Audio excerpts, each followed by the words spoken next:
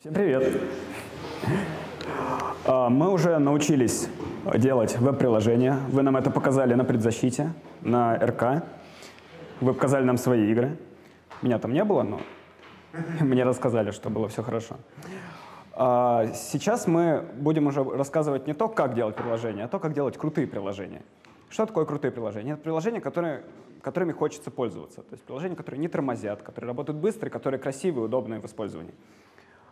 А, и как раз первая часть из э, этого — это производительность. А, производительность у нас делится на две части. Первая часть — это производительность по сети, потому что мы так или иначе работаем с сетью.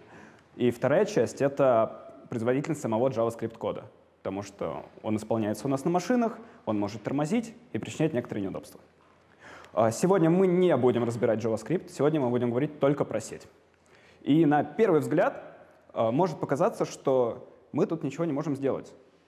Бэкэндеры написали на своей Java какую-то медленную штуку, которая очень сильно тормозит. Какая-то там база данных непонятная читает все с диска.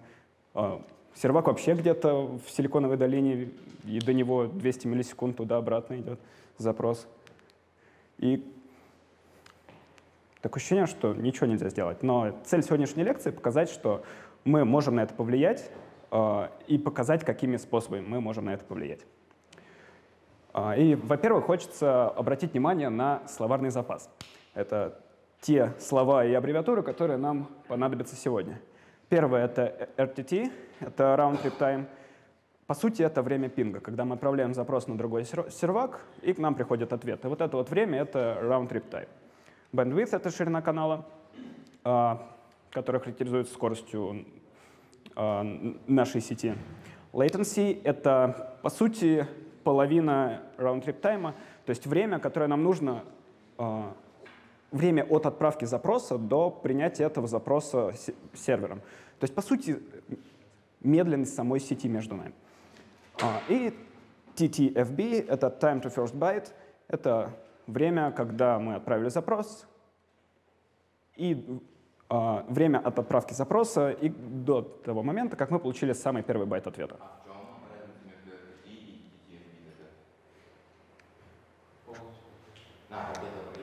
Да, одно про сеть, а другое про браузер. А, и что же внутри нашего HTTP запроса? Если мы хотим оптимизировать сеть, мы должны знать, из чего состоит наш запрос, э, как браузер а, внутри себя его делает. А, первая часть — это queuing. queuing, queuing. А, он обычно не очень долгий, но в некоторых случаях может быть долгим. А, это величина, которая говорит нам, сколько запрос был в ожидании в очереди на отправку. Он может быть в очереди по многим причинам. А, недоступный, а, недоступный сокет,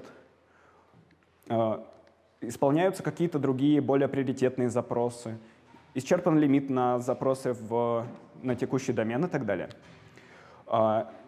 Самое интересное здесь — это DNS Lookup, Initial Connection и SSL.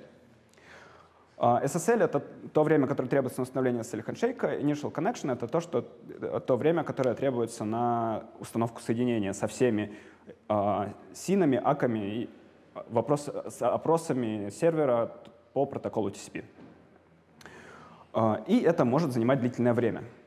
В данном случае у нас протокол HTTPS, поэтому мы устанавливаем SSL-соединение, мы, мы первый раз делаем соединение, мы устанавливаем его. Дальше у нас отправляется запрос, это request send, и э, идет ожидание. То есть это time to first byte. То есть время, когда мы уже отправили запрос, и ждем, когда сервер, сервер нам что-нибудь ответит. Э, в большей части эта величина зависит от э, тормознутости сервера. Ну и контент download. Здесь у нас маленький контент, он всего за 2 миллисекунды скачался. Это само получение ответа. Если мы получаем какой-то огромный файл, да, это будет долго. Если мы получаем что-то быстрое, какой-нибудь JSON, то это будет быстро. А, также запросы могут быть HTTP, а, где не нужно устанавливать SSL-соединение. А, может, мы будем ходить, использовать тот же самый connection. Тогда, например, мы пошли за статикой. И когда мы идем за статикой, у нас большая часть занимает контент download. То есть мы скачиваем файлы дольше, чем делаем все остальное. Это нормальная ситуация, но это тоже можно оптимизировать. То есть мы будем работать над оптимизацией самого, самого, самой инициализации соединений и над оптимизацией скачивания уже данных в наш браузер. А, что такое latency? От чего зависит вообще установка соединений и скачивания, все вместе? Э, от тормознутости самой сети. А, допустим, мы сидим с мобилки. Мы такой продвинутый мобильный юзер. А, у нас идет задержка из-за того, что мы используем какой-нибудь 3G, 4G. А, он потом идет на вышку, там по проводам идет в наш сервер. А если сервер находится где-нибудь в США, то идет по огромному каналу под Атлантическим океаном. Там проложено такое оптоволокно. Очень интересное видео, посмотрите на YouTube, как прокладывают оптоволокно. Там кораблики такие плавают, и, и на, дно, одно, на дно океана просто кидают эти провода.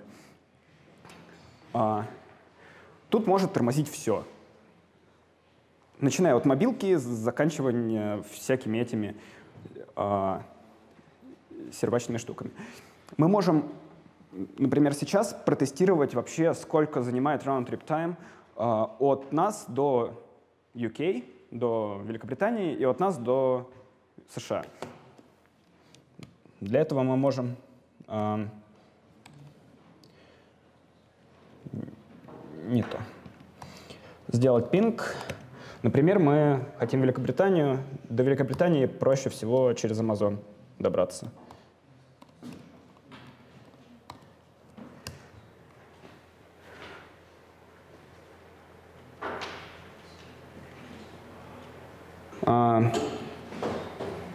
Возможно, следовало подключить интернет. А, он есть.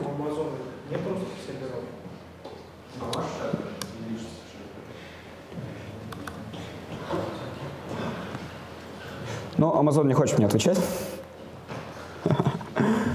Давай до Amazon.com. О, зарезолвил айпишник. Нету. Амазона нет в России официально. Всякие же ВКонтакте там держат картинки. Они, дер... кон контакт, э, контакт держит картинки на своих CDN, на своих сервачках. А на Амазоне Короче, у Амазона есть несколько точек. Самая ближайшая к нам во Франкфурте. То есть Франкфурт это вот там, вот в Германии, далеко. Это далеко не. Ну ладно, я проспойлерю сразу результаты, вы можете это сделать у себя. А, пинг до, до Великобритании составляет 80 а, миллисекунд, а пинг до США 100 миллисекунд или 120 миллисекунд, может достигать 200 миллисекунд. А если мы думаем о том, о быстродействии, то это, конечно, ну, цифры достаточно большие. Потому что из браузера делается куча запросов, и если каждый запрос начнет тормозить там по сотням миллисекунд, то мы получим несколько секунд задержки до момента, когда все это загрузится.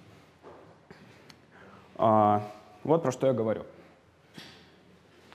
Так как у нас ресурсов на странице очень много, то а, при уменьшении времени при уменьшении latency, при уменьшении задержки мы значительно уменьшаем а, скорость загрузки страницы, и,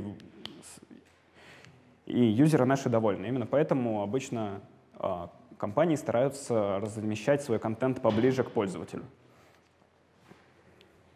А, это все можно оптимизировать, помимо того, что мы а, поближе к пользователю все будем размещать.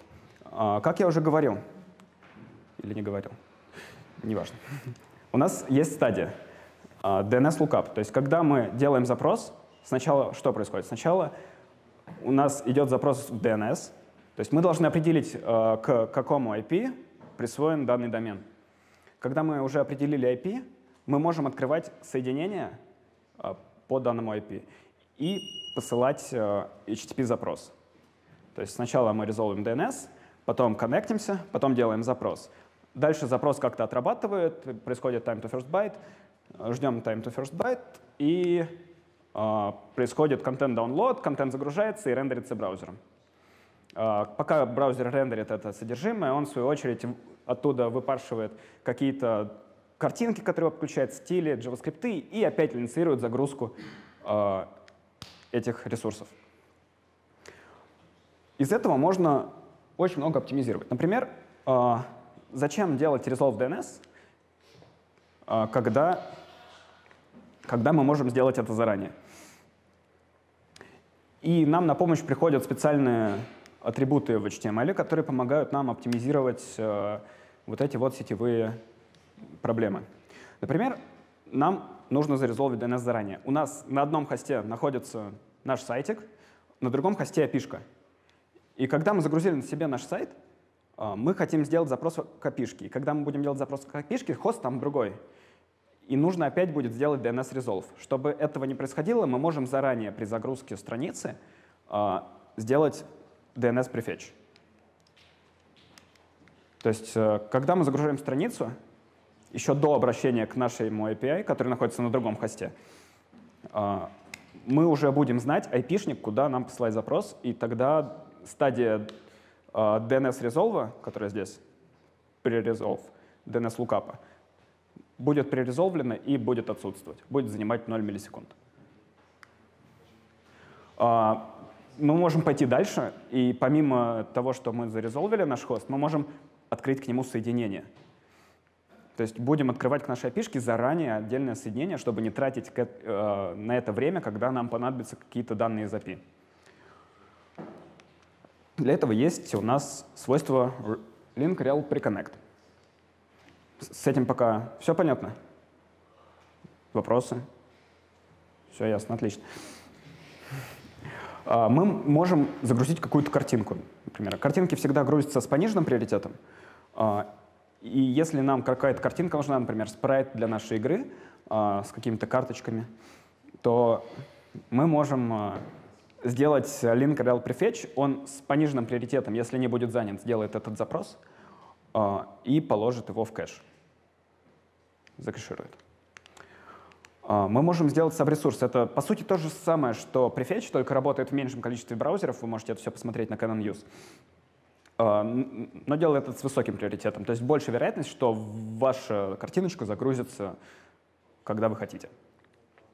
Но, опять же, поддержка не всеми браузерами, поэтому обычно это все сочетается. Ну и самый такой, самый крутой — это пререндер. Наверное, замечали, а, как вы можете нажать на ссылочку, и она моментально открылась. Вот прям ссылочка с другого сайта, например, и так далее. А, это делает пререндер. Вы туда помещаете URL, который хотите запререндерить, он заранее в отдельном фоне, по сути, браузера делает туда запрос, вытягивает оттуда все ресурсы, хранит их в памяти, и когда вы туда перейдете по этому URL, тогда он откроет прям без всяких промедлений, без, без траты времени на resolving, без траты времени на connect, без траты времени на э, скачивание всех ресурсов. Да. А, в контексте SPA, если вам не нужно пререндерить ваши свои собственные страницы. В контексте SPA вы скорее будете делать пререндер каких-то других сайтов.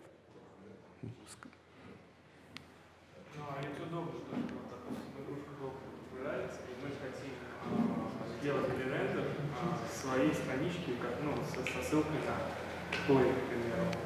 Uh, у вас single page application, поэтому страничка Play будет иметь абсолютно те же самые ресурсы. Абсолютно тот, тот же самый HTML, что и другая страничка. Да, можно просто добавить прелодер и все. Специально тормозить загрузку ресурсов — это такое. Это странное решение достаточно.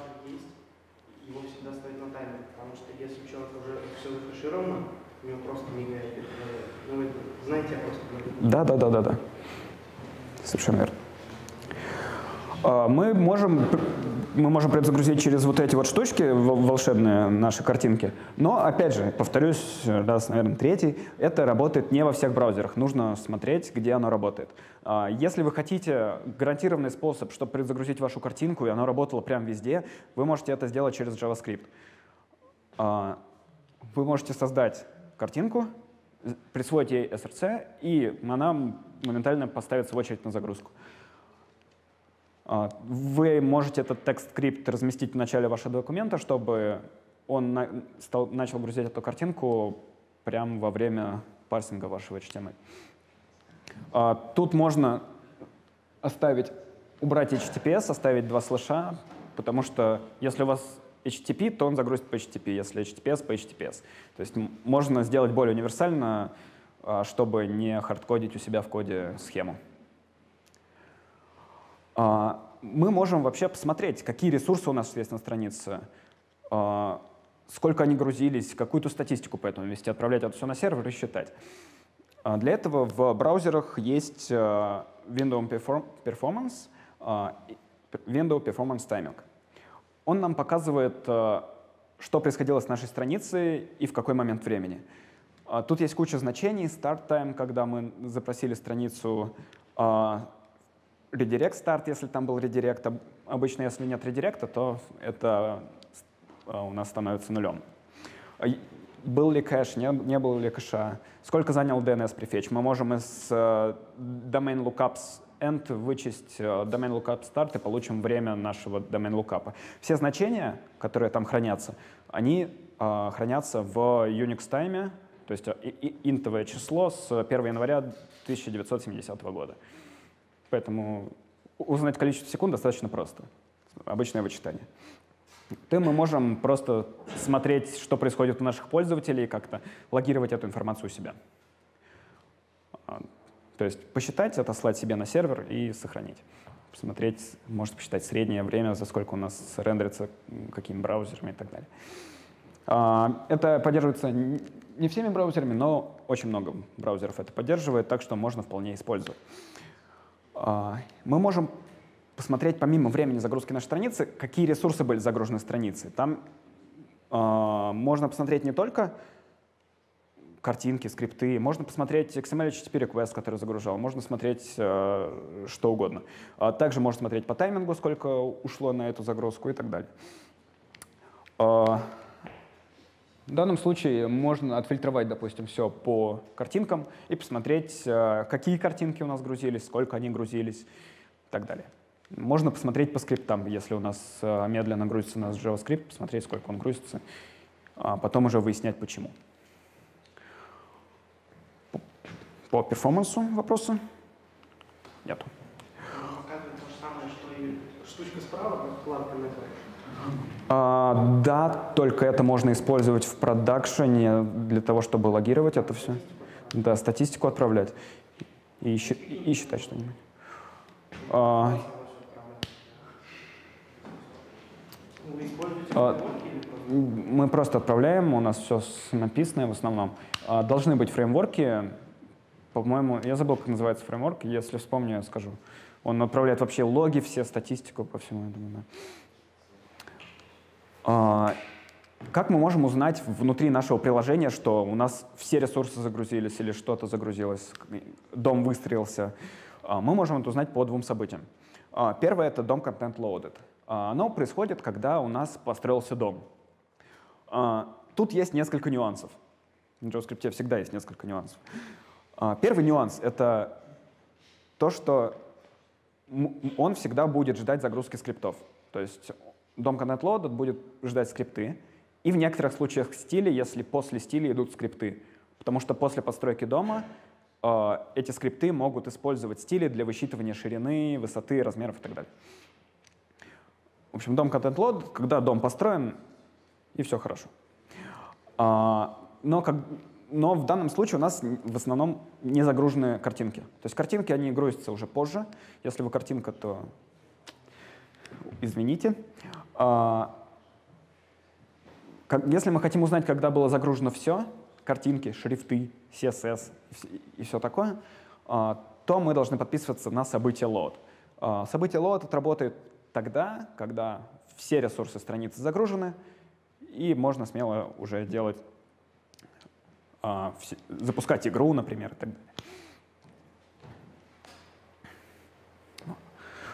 По этим двум событиям вопросики? Нет? Отлично. А, теперь мы переходим плавненько так, к теме а, скачивания данных. Почему оно тормозит и как это ускорить? А, первое, чем можно ускорить наше скачивание данных, это просто уменьшить количество данных. Просто же. А, как это делается? А, например, JavaScript. Мы уменьшаем количество данных, просто прогоняя это все через минификатор. А, что делает минификатор? Минификатор берет имена переменных, какие-нибудь длинные, а, Java-подобные, там, из, из my player is active, и делает из него какое-нибудь простое короткое имя, например, А. И благодаря этим он соверш... Также он может избавляться от э, всяких ненужных, ненужного кода. Например, вы пишете там кучу кода, и он внутри if false, и как бы этот код никому не нужен, и он сразу его выпилит. И сборки... Также он выпиливает пробелы, выпиливает э, комментарии, и вы... потому что пользователям как бы все равно на ваши туду выпилить этот костыль. Э, пользователям важен сам код, и минификатор дает вам чистый код без всяких вот вредных примесей. А, подробнее, как они работают, про самые популярные минификаторы вы можете почитать по ссылочкам. Также есть видео про CSS-минификатор CSSO от Романа Дворнова из Авито. А, тут тоже неплохо рассказывает про то, как парсится все это, минифицируется и так далее. А, у нас в почте был человек, который... Есть, короче, минификатор, называется Clojure Script Compiler у нас был в почте человек, который подумал, зачем мне прогонять через него код, если я могу сам писать оптимизированный код. Он сам ушел. До сих пор его письмена расшифровать не могут. А, так что если вам, дорогие люди, которые рядом с вами, и, и дорогие сами себе в будущем, то, пожалуйста, пишите как можно подробнее.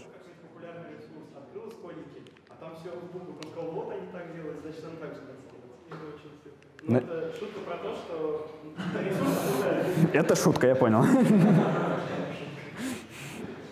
Окей. А, что можно сделать еще? Помимо того, что мы уменьшаем физически а, размер нашего файла, уменьшая его, мы можем его дополнительно заархивировать. Например, положить в zip, в zip-пакет. Есть кодировочка, есть а, архиватор, по сути, GZIP, это GNU-zip который позволяет нам а, заархивировать на стороне сервера заархивировать какие-то данные, и в браузере на стороне клиента их разархивировать. А, тогда у нас меньшее количество байт будет передаваться по сети, и мы получим ответ наш быстрее. При этом сжатие на той стороне и разжатие на этой занимает меньше времени, чем разница от старого нового передачи данных. Да, сложно. Окей. А, Например, может быть э, файл минифицированный 2 мегабайта весит, а в GZIP он весит там 500 килобайт или там 50 килобайт. Все может быть. Все зависит на самом деле от файла. А для того, чтобы включить архивацию, нам нужно, чтобы в браузер поддерживал это. То есть браузер при запросе передаст заголовок accept encoding gzip. А, при этом, если сервер это тоже поддерживает, он а, напишет, в какой кодировке он прислал вам ответ. В данном случае тоже GZIP. А, GZIP поддерживается много кем. Например, его можно включить в Nginx простой командой gzip on. Он встроенный туда по умолчанию, и обычно он даже в конфиге по умолчанию включен. Поддерживается эта штука всеми браузерами, работает. Но есть два недостаточка. Он сжимает, но можно лучше. Вот. И, и быстрее. И с точки зрения лучше, э, инженеры из Гугла хорошенько поработали и придумали протокол, который называется Zopfli. Э, он дает хороший результат, примерно на 9% лучше, чем... Э, точнее, не на 9% лучше, да, на 9% лучше, чем GZIP. При этом распаковывается он тем же гзипом, то есть поддержки со стороны браузеров не, не нужно. Но проблема он очень медленно пакует. А, поэтому придумали такой хак. Мы заранее запаковываем на сервере всю статику нашу. Вот. И все. Но при этом надо, допустим, в нашем Jinx написать uh, zip static on. Тогда он в первую очередь будет искать, будет не на статику смотреть, а искать заархивированную эту статику. И тогда он возьмет этот заранее заархивированный zip-архивчик и вернет его браузеру, вернет его клиенту. Клиент обычным зипом его распакует. То есть огромное преимущество в том, что нам не нужны дополнительные поддержки от браузеров, то есть оно, оно распаковывается тем же самым зипом, но на 9% эффективнее. А, запаковка медленная, поэтому в рантайме это никто не делает. Если zip можно в рантайме просто так, запаковал, распаковал, запаковал, распаковал, то здесь надо заранее запаковать и а, передавать. А, инженеры из Гугла посмотрели, им понравилось, но не сильно. А, поэтому они придумали а, протокол, который называется протокол архиватор, по сути, алгоритм, который называется Бротли. Он уменьшает где-то процентов на 5 еще лучше, чем Zopfli, и быстрее. Причем он может быть в некоторых случаях сжимать быстрее, чем GZIP. Вот, например, он дает такие результаты. То есть если мы сжимаем зипом JavaScript, потом сожмем тот же самый JavaScript э, Brotli, то э, архивчик сжатый Brotli будет на 14% меньше. Если HTML, то он 21%. Если CSS, то он на 17%. Конечно, это цифры такие э, притянутые за уши, но все-таки это о чем-то говорит. Но в отличие от Zopfli, где мы просто архивировали, и он э, поддерживается. Тут нужно включить его на сервере с помощью директивы brotli on для Nginx, а, либо установи какой-нибудь модуль для Node.js, если вы любитель Node.js. Тут, опять же, есть сравнительная характеристика. А, Zopfli и Brotli — исходники JavaScript, CSS, на сколько процентов его удалось оптимизировать. Вот, допустим, а, Zopfli сжал до 18% от, от исходного JavaScript, а Brotli до 16%. При этом работает он в разы быстрее. Я, я бы сказал сейчас, используйте все быстро Brotli, но э, IE, как всегда, Opera Mini, про нее можно забыть, э, старые Safari тоже так себе. Так что пока что, если вы не поддерживаете только последний хром, но вы поддерживаете самый последний хром, то вам, вам это подойдет. Если вы поддерживаете хром и IE, то вам это не подойдет. Используйте gzip. Это тоже хорошо на самом деле. Да, при этом в Safari они такие хитрецы, они сделали поддержку только с, с uh, macOS High Sierra. То есть, если вы используете последний Safari на старой macOS, а, то у вас тоже он работать не будет. Печаль. Веселые слайдики. А, помимо того, что мы можем сжимать данные, помимо того, что мы можем а, их архивировать, мы можем использовать другие форматы, которые внутри себя поддерживают э, лучшее сжатие. А, один из таких форматов для изображения называется WebP. Он также разработан был Google. А, и я его недавно узнал, недавно это сегодня, что он анимированный. Он поддерживает анимации, я был в шоке, я решил сделать сравнение с GIF. А, и сами посмотрите разницу. Это сколько? Во сколько раз? Во сколько это раз? Да, ми да ми минимум в два точно. Ну, в общем, во много раз, в десятки раз больше. Э, меньше, точнее. Ну, вот сейчас вот сервисы поголовно переводят на этот WebP и WebM. И это очень печально, потому что они поддерживают загрузку гифок, только гифок, а отдают тебе веб. То есть ты не можешь скачать и обратно залить на сайт. И вот на том же хватит уже три года, вот WebM, вот там вообще неудобно. Ты потому что скачиваешь видео, ты не можешь его перематывать. Тебе нужно от начала до конца Ты сидишь на 2 Ну, бывает. Ты должен страдать. Окей. А, для видео существует такой же гугловый формат, называется WebM. А, на самом деле, я тут немного не в хронологическом порядке разместил все это. Сначала появился WebM, а потом от него ответвили WebP. Вот, то есть сначала сделали э, для видео, а потом сделали для картинок.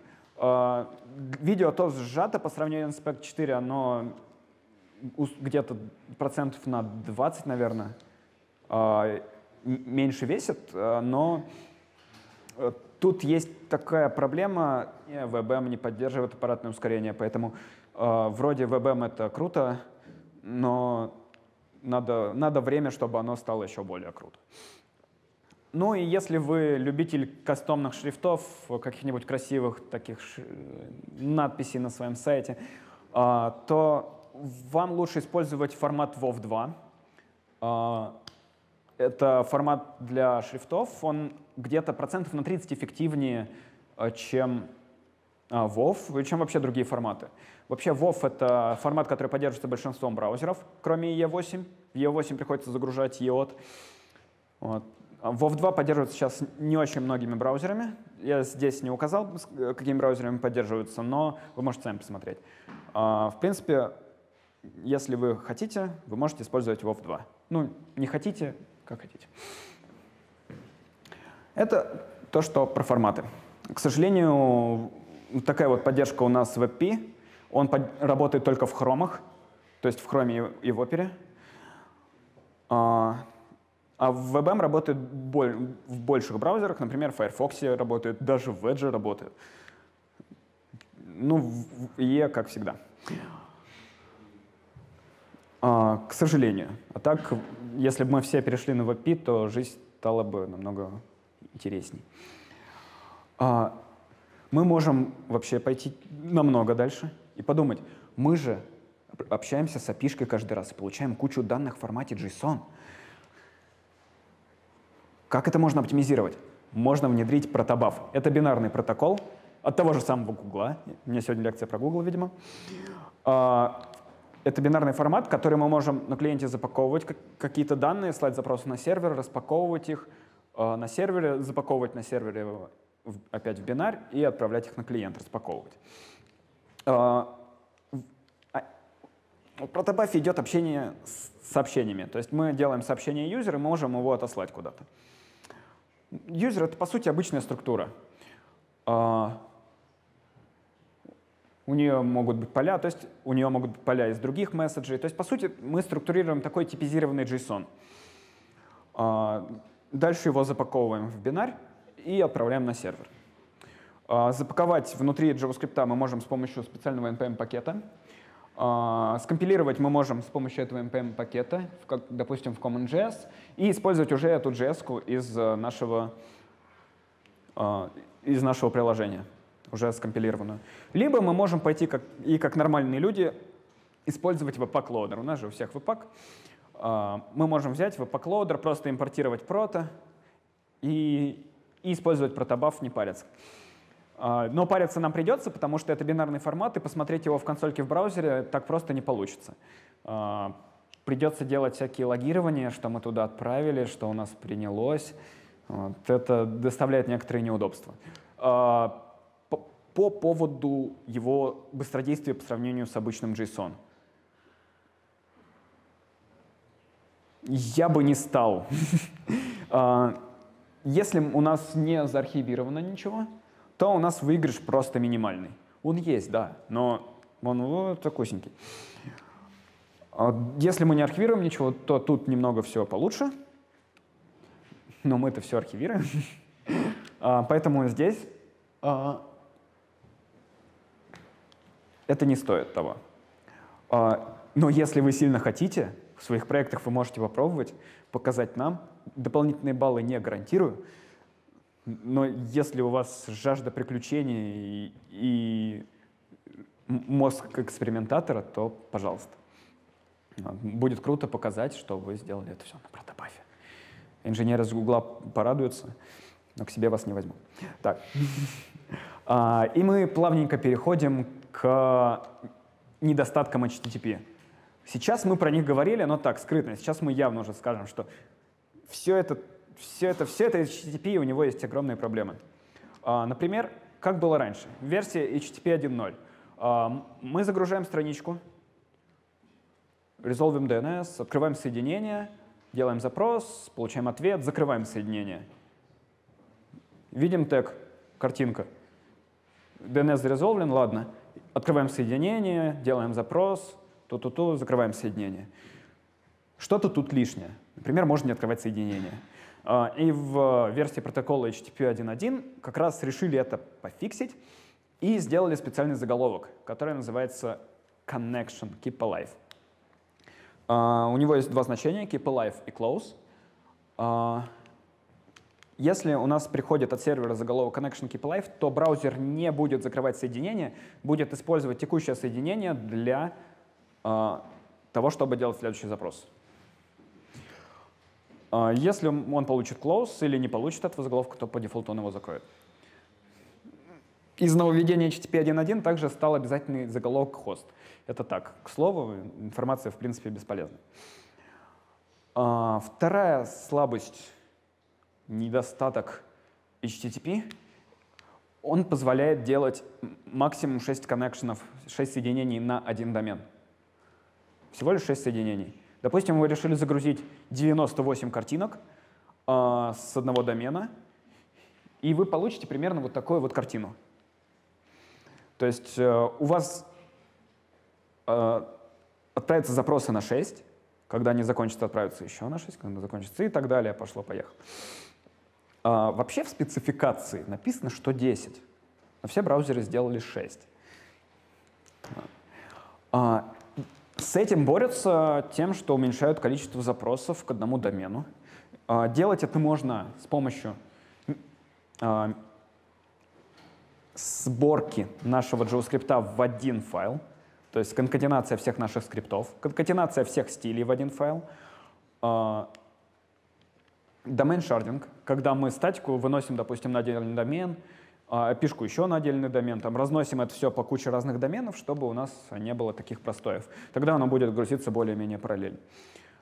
А спрайт — это когда мы берем и в одну картинку пихаем кучу разных картинок, прям очень много картинок пихаем, и... А? Да, так делает э, Telegram так делает. Да, так много кто делает. Вот. А сейчас ну и бэкграундом там все это позиционировать уже CSS внутри. У нас одна картинка, она просто кучу раз с разными значениями background position выставляется. А сейчас пошла мода делать inline картинок. А мы заранее преобразуем нашу картинку в B64, то есть берем сум хэш, преобразуем картинку B64 и кладем ее в source вместо урла. И тогда она отобразится. Да, так делает почта, так делает Бипкар, так делают многие сервисы Mail.ru. А, так делаю я. Да, не нужно. Да, это сильно быстрее. Сейчас скажу, в чем выигрыш. А, у нас в HTML или в CSS или в JavaScript уже содержится вот эта вот картинка. Если она небольшая, а, то то время, которое будут скачиваться вот эти вот лишние несколько байт, будет значительно меньше, чем то время, которое нужно потратить на то, чтобы скачать эту картинку, сходить, скачать эту огромную картинку еще раз. То есть мы просто берем эту картинку и впиливаем в другой файл, откуда используем. Это в разы быстрее. Запрос по сети не делается в данном случае совсем. Также можно инлайнить шрифты. То есть э, в B64 также перегоняем шрифт и используем его в CSS в нашей. А, также можно делать critical CSS. То есть часть CSS, которые нам прям нужны сейчас для отображения нашей страницы, вставить в текст-стайл в HTML. Тогда, когда мы будем загружать страницу, мы не будем, даже, не будем дожидаться наших стилей, мы сразу отрисуем все со стилями, все будет красиво и быстро, а потом уже догрузим всякие стили, которые нам нужны для всяких поп-папчиков, которые появляются потом, а, для каких-то других страниц и так далее. А, Critical.js то же самое. Мы подгрузим только те скрипты, которые нам нужны прямо сейчас. Остальное мы нагрузим потом. Так работает Яндекс, так работает Mail. А, главная страница Mail.ru сначала грузится ваше лицо слева в квадратике, потом грузится форма поиска, а потом грузится все остальное. А, в Яндексе тоже сначала грузится форма поиска, ну, в Яндексе наоборот, там сначала форма поиска, потом лицо. По-моему, так. То есть э, мы грузим не все сразу, мы грузим постепенно по мере того, как нам это нужно. С этим понятно? Круто. И теперь у нас есть а, еще одна тема — это кэширование. А, у нас может, мы, мы можем обновить страницу, и тогда мы начнем заново загружать JS, HTML, что там еще можем загружать? CSS, да. можем еще CSS загружать. А, и что будет происходить? У нас сервер будет читать его с файла и отдавать его по сети. А, зачем это делать, когда этого можно не делать? Знакомая фраза, да. Все, почти все по ней живут. А, кэширование как раз про это. Мы, сервер, если знает, что кон контент не изменился, не будет нам давать его скачивать, не, мы не будем тратить время на то, чтобы его скачать, вот эти вот все э, килобайты, мегабайты кода. Э, он нам отдаст специальный ответ, и мы э, возьмем его из локального хранилища. Википедия, как все любят. А, как это работает? Например, мы делаем запрос за скриптом. Первый раз. Script.js, HTTP 1.1, хост, все как положено. И нам приходит ответ, что да, вот тебе твой скрипт, он такого-то типа, и у него есть специальный заголовок, который называется cache control, который нам говорит, что э, как он будет закэширован. В данном случае cache control public, то есть он может кэшироваться браузером, а также всеми прокси-серверами. Э, и maxage — это сколько он будет жить с текущего момента. Last modified заголовок, который нам говорит, когда последний раз был изменен этот ресурс. И ETAG, который нам говорит, э, который по сути является хэшом нашего документа. Uh, у кэш-контрола на заголовка есть несколько значений. No cache, no store, must revalidate, private public, про который я уже сказал, uh, и maxage. No cache говорит, что мы не должны его кэшировать. No store э, говорит, что мы вообще его не должны никоим образом нигде сохранять, вообще, ни в коем случае. Master Validate — это значит, что мы должны постоянно будем опрашивать его э, актуальность, то есть постоянно будем просить обновлять и так. Private Public приватный — это значит, что он будет кэшироваться только в нашем браузере, он не будет кэшироваться всякими проксями, которые стоят до нашего браузера. А Public — это говорит о том, что он может кэшироваться с кем угодно. Ну и MaxAge — это MaxAge. Сколько максимально он будет жить. А, у кэша есть несколько параметров. Например, это свежесть. Свежесть у нас регулируется а, заголовком last modified, то есть когда он был изменен. Здесь у нас он был изменен давно, в марте. Надо было это поправить с предыдущей лекции. А, если когда браузер за, запрашивает его снова, он вернет вот это значение, передаст обратно серверу значение, которое он вернул до этого. То есть он вернул 25 марта 2017 года, он передаст в заголовке if modified since вот эту вот строчку. Если, э, если этот документ был изменен с этого момента, то он его загрузит. Если не был изменен, то он вернет 34 not modified. Не был изменен. А, загрузки происходить не будет, документ возьмется из кэша.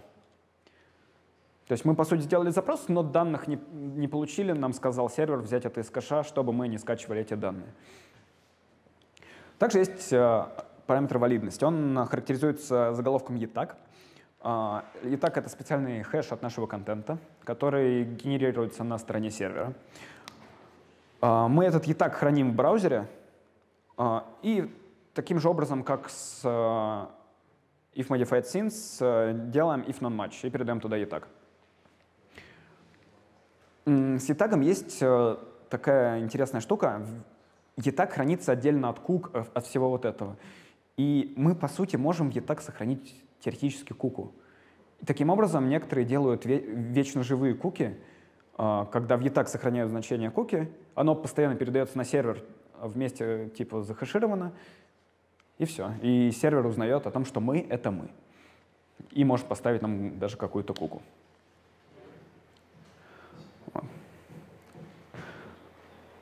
Кстати, я вспомнил про куки и вспомнил, что забыл рассказать про одну штуку. А, когда мы делаем HTTP-запрос, куки передаются постоянно. То есть с каждым запросом передаются куки. Если мы держим статику на одном домене, то у нас куки будут а, передаваться при загрузке при запросе за статикой. Для этого, опять же, выносит статику на отдельный домен, чтобы э, куки не передавались и не было лишнего оверхеда на заголовке HTTP. Вот. Все, совесть чиста. А, поставив эти заголовки, всякие кэширующие, а мы очень просто можем выстрелить себя в ногу. Прям это самое популярное, что можно сделать, это закэшировать прям все. А, и вроде это хорошо, да, запросы не делаются, но есть проблема. Мы можем закэшировать api Вот представьте, пользователь такой приходит к вам на, на сервис, э, решил изменить свой профиль. Вот. Вы перезапрашиваете профиль после изменения, а там старые данные. Пользователь такой думает, ой, что-то не работает, пожалуй, не буду пользоваться этим сервисом. Вот. Я сам давно, давно на эти грабли наступал, так что знаю, о чем говорю. А для того, чтобы как-то сбросить кэш, нам нужно поменять URL. Потому что кэширование происходит всегда по URL. Кэшируются только get-запросы, и кэширование происходит по URL. А, например, самый простой вариант — это, если мы вообще не хотим кэшировать данную страничку, это добавить случайно какой-нибудь параметр в, при загрузке ресурса. То есть случайная строчка, кэша нет. А, также мы можем использовать э, уникальные имена для наших бандлов.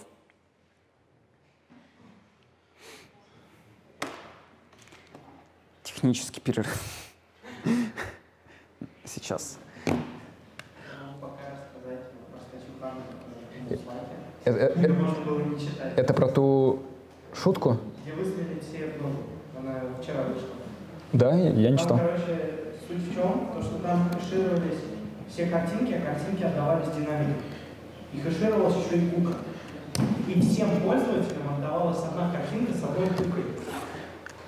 И пользователи попадали тупо в личный кабинет друг друга. Да, да. Стандартная ошибка. Во, я подключил интернет, надеюсь. А, про уникальные имена бандлов.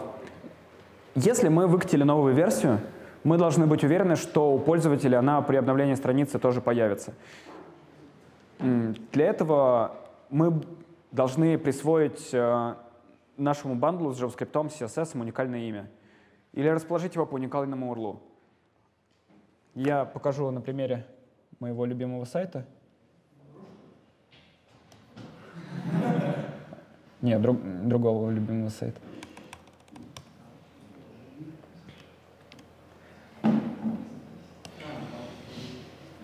Если мы посмотрим Network,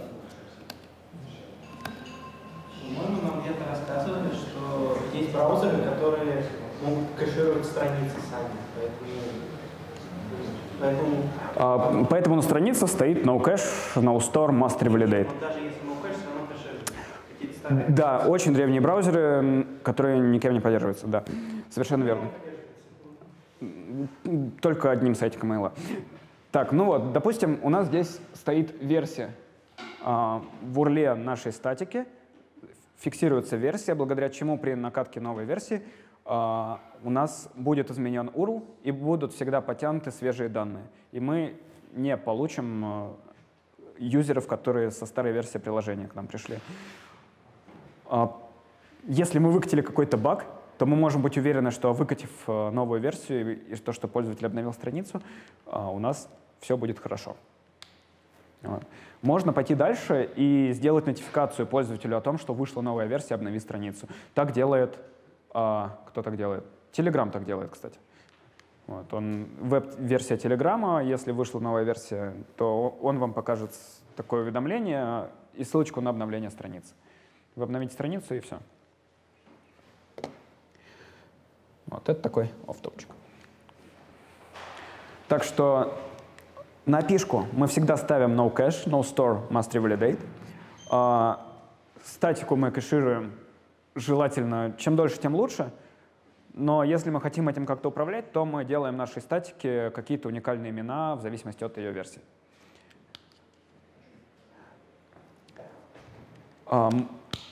Это но кэш, если мы кэшируем, мы все равно делаем запрос на сервер. В любом случае, Нам сервер должен ответить 304 либо 200. Мы можем вообще не делать запрос на сервер. Мы можем сохранить эти данные локально в браузере. Это придется делать руками. А, что мы можем сделать, чтобы сохранить данные локально и чтобы у нас не было вообще никакого перезапроса? А, ну, про кэш мы уже рассказали. Можно хранить это все в куках. Это, конечно, здорово, но это медленно и всего 4 килобайта. Нас это вряд ли устроит. Есть Web Storage API, API. Его сейчас используют все, в него входит Local Storage и uh, Local Storage и как, как он называется, я забыл. Я его сегодня использовал, но уже забыл.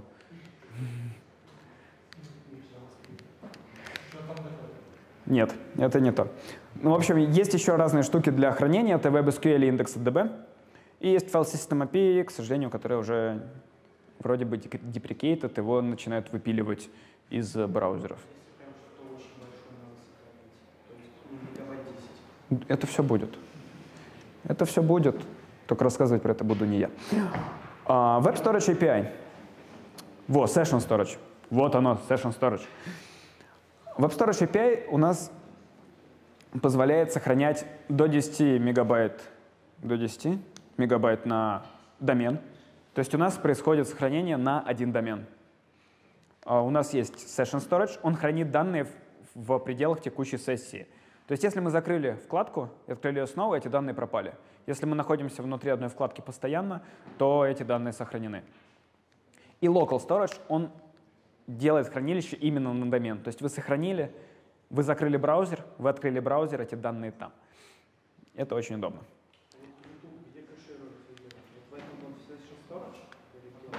Нет. Потерпи. Короче, я терплю до конца. До конца перерыва еще терпи. Local Storage. А, то, с чем работает сейчас большинство проектов, а, поддерживается очень многими браузерами. Очень удобно в использовании, очень простая штука. А, Все очень просто. У нас есть хост-объект Local Storage. Мы к нему просто обращаемся из консоли, из нашего JavaScript кода. Он находится в Windows. Можем присвоить напрямую по ключу какое-то значение. А можем использовать специальные методы getItem, setItem, key и length.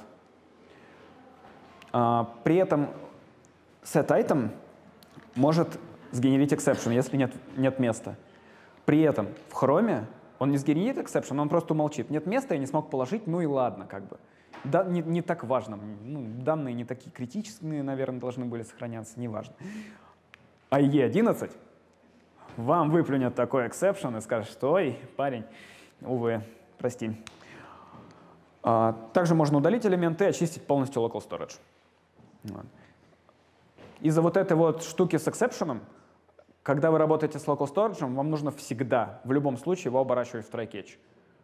Потому что он в любой может в каком-либо браузере взять и кинуть exception. Можно просто сохранить туда JSON. Там хранятся вообще только строки, но если мы сделаем JSON stringify, а, а на выходе сделаем JSON parse, то мы можем сделать специальные методы, которые это делают за нас, и сохранять обычный JSON внутри, внутри нашего local storage. То есть, по сути, мы можем там закэшировать ответ API какого-нибудь юзера, чтобы не обращаться каждый раз, не опрашивать а, сервер. Был, кстати, доклад какой-то или статья, там в local storage положили шрифт. То есть они взяли шрифт, взяли у него base64, положили в local storage, и в следующий раз вместо того, чтобы перезапрашивать, они брали этот шрифт из local storage. Чтобы не делать запросы.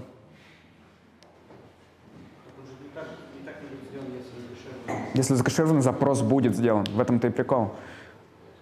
Если кэш, мы делаем запрос, мы просто не получаем, а, не получаем ответ, мы получаем 304. Мы не получаем всех данных, мы эти данные берем у себя локально. А, С помощью Local Storage можно обмениваться информацией между вкладочками. Когда мы сохраняем в одном месте что-то в Local Storage, и у нас открыт, допустим, вторая вкладка, то она получит событие Storage и может получить эти данные и что-нибудь с ними сделать. Для синхронизации вкладок может быть удобно, но не всегда это правильно работает. Как всегда, есть нюансы. А, Это все, что касается Local Storage. Вы его будете использовать, вам о нем знать вот эти только все методы, потому что больше в нем ничего нет. Это очень просто. А, Дальше идут сложные вещи, которые вы использовать вряд ли будете, но если хотите, опять же, на, мы на это полюбуемся, но баллов не гарантируем. А, WebSQL. Если вы бэкэндер или просто любите SQL, а, то эта штука для вас.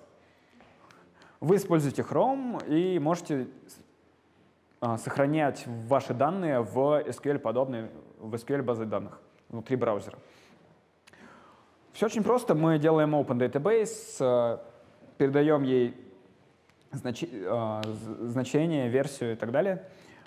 А, Мы можем с ней общаться благодаря транзакциям.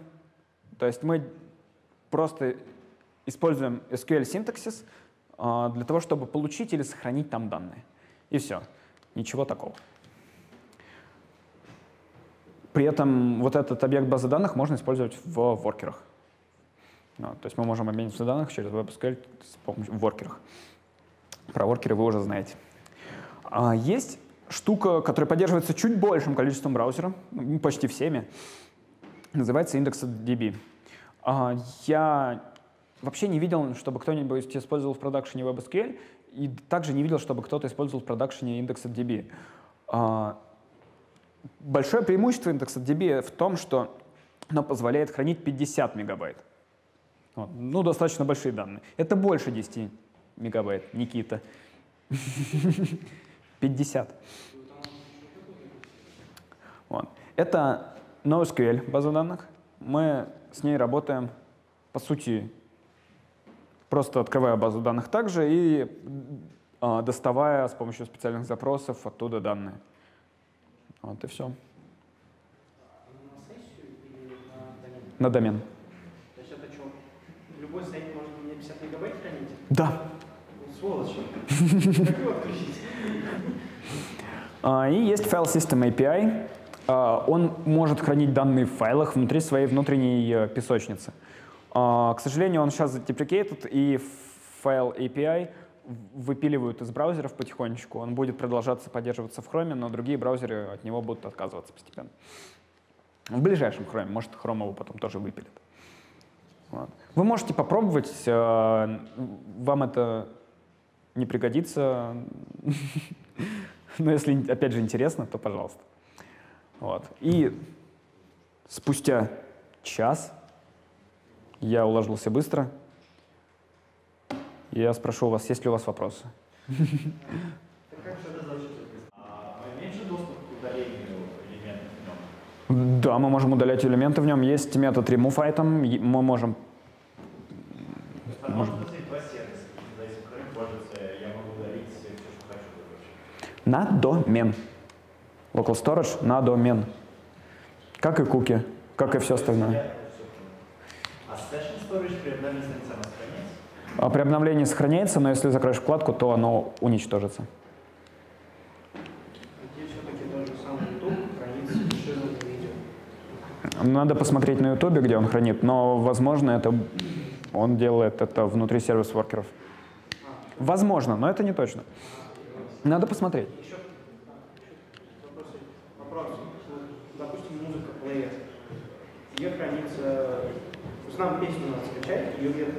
В памяти все хранится. Есть в памяти. Есть Audio API, можешь посмотреть. Вот.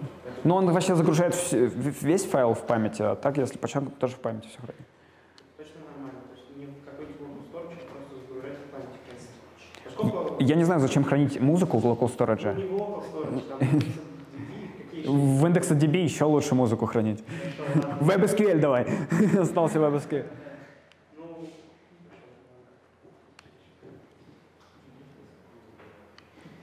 Вопросы? Ты справился слишком быстро. Минута так на 40. есть все понятно по производительности, все понятно по хранению данных, по всему вот этому. О, отлично. Пока непонятно, как э, нам прикрутить вот эти все крутки оптимизации сетевого взаимодействия к нашему вот серверу, который у нас пока что еще есть. Да, совершенно верно. Э, В продакшене, в продакшене, спойлер небольшой опять же, в продакшене у вас не будет ноут-сервера. Да, у вас будет Nginx. У вас сейчас дев... ноут-сервер для девелопмента. Для девелопмента вам эти все крутые оптимизации вообще не нужны. А, Эти крутые оптимизации нужны только для продакшена. На продакшене у вас Nginx, он все это поддерживает. А, Возможно, я не помню точно, поддерживает ли он а, Бротли. Вот. А, Можно NG Nginx скомпилировать, поставить в него модуль Бротли, вот. либо он сразу идет с Бротли. Вот это вот интересный момент. Вот. Да. Первое. Кэш. Да. Второе, local storage. А, третье, было бы неплохо запилить какие-нибудь DNS резолвы и все вот это. Ну, то есть вот прям вот там у нас есть как третий, где вот это все смотрит. Да-да-да. Я все это посмотрю. Да.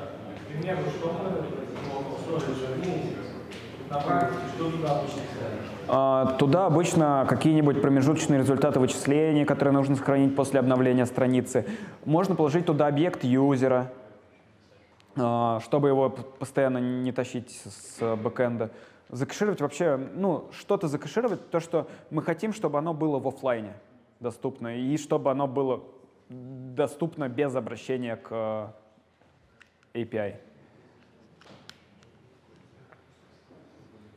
А э, э, B64, всяких шрифтов, картинок и так далее, это мы где будем делать?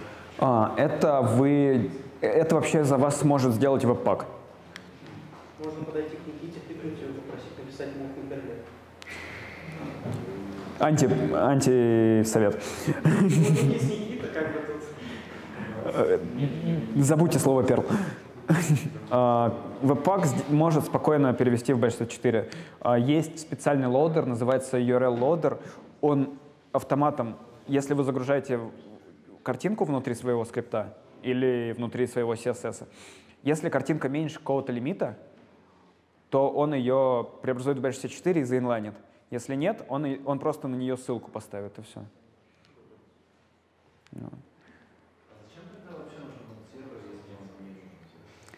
Он нужен. Ну, во-первых, э, если у вас тормоза бэкэндеры не делают api вы можете ее сделать сами. А, Во-вторых, намного удобнее использовать ноут-сервер, чем поднимать локальный Nginx. И следить за актуальным состоянием его конфига.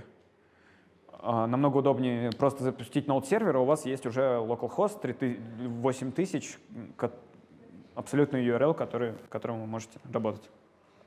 Это намного удобнее, чем открывать файлы. А, Во-вторых, а, с помощью локального такого сервера вы сможете тестировать э, кучу разных штук, которые расскажет Алексей. И, и вообще это просто удобно.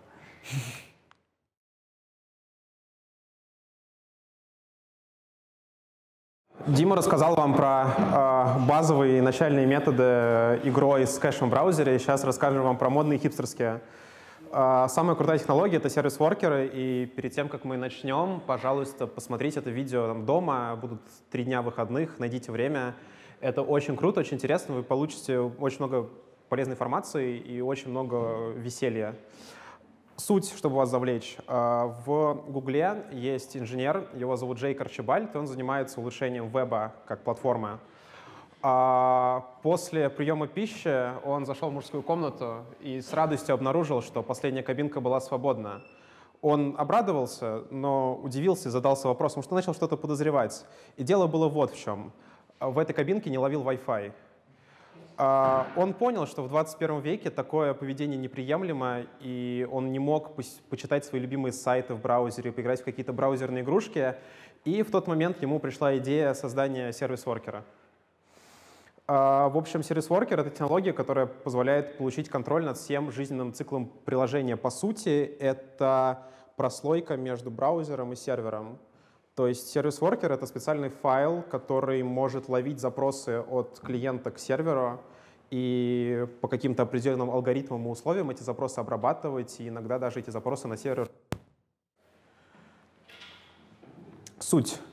Кэширование там 50 метров примерно. И самая главная фича — это офлайн работа приложения. Это вот то, чего как раз добивался, добивался этот инженер. Сервис Worker позволяет закэшировать файлы и при выключенном интернете не прокидывать запрос дальше на сервер и не получать браузерную ошибку а просто принимать запрос на себя, искать во внутреннем кэше файлы и отдавать их. И поэтому можно пользоваться приложениями где угодно. Естественно, какой-то загружаемый контент, который динамически обновляемый, за который вы в API куда-то идете, вы его не получите. А какой-то базовый, не знаю, каркас вашего приложения, то есть ну, ваш синглплеер точно можно закэшировать, и он точно может работать спокойно в офлайне с помощью сервис-воркера. А, Еще, в принципе, пуш-нотификации вы могли видеть, что вы заходите на большое количество порталов, и слева вверху появляется уведомление «Разрешите этому ресурсу присылать вам пуши». И начиная с 60 какого-то хрома эти пуши стали не браузерные, а вообще нативные на уровне системы. В macOS точно, про другие платформы не уверен, но надеюсь, что да. А, суть сервис Worker, у него есть какая-то система событий, он на эти события может подписываться. Одно из этих событий — это push — и с каких-нибудь э, платформ для оповещений, например, не знаю, Google Cloud Messaging или Firebase, а, сервис Worker по ключу подписывается на определенное обновление. Как только push приходит, он этот push прокидывает вам в браузере, даже если у вас не открыт этот сайт вкладки. Вот. И распараллеливание вычислений. Недавно внутри Mail.ru Group был такой мини-хакатон вот представителя Гугла, в котором великолепная, прекрасная, молодая и амбициозная команда проекта Бипкар победила, но это не важно. А, там а, были ребята из мессенджера Там-Там, это тоже разработка компании, и они делают, как и Telegram, веб-версию своего мессенджера, она, по-моему, дальше с доступна, там что-то там-там чат. А, у них была проблема в, при переписке в мессенджерах люди используют эмоджи и эмоджи слишком много, и как вам Дим уже рассказывал, а, если загружать очень много файлов, это вызовет waterfall. Или если загружать спрайты, то постоянно гоняется этот спрайт, огромная картинка, нужно через бэкграунд CSS маленькие зоны на ней вырезать, это тоже неудобно. А, поэтому чуваки делают следующее. Они сервис-воркером загружают эту огромную картинку со спрайтом всех эмоджи, и внутри сервис-воркера в бэкграунде параллельно они разбивают этот спрайт на маленькие файлы с вымышленными урлами. И клиент уже запрашивает конкретные эмоджи, там, я не знаю, сами придумайте, какой эмоджи можно запросить. То есть суть сервис-воркер в бэкграунде разбивает большую картинку на маленькие файлы, и каждый отдает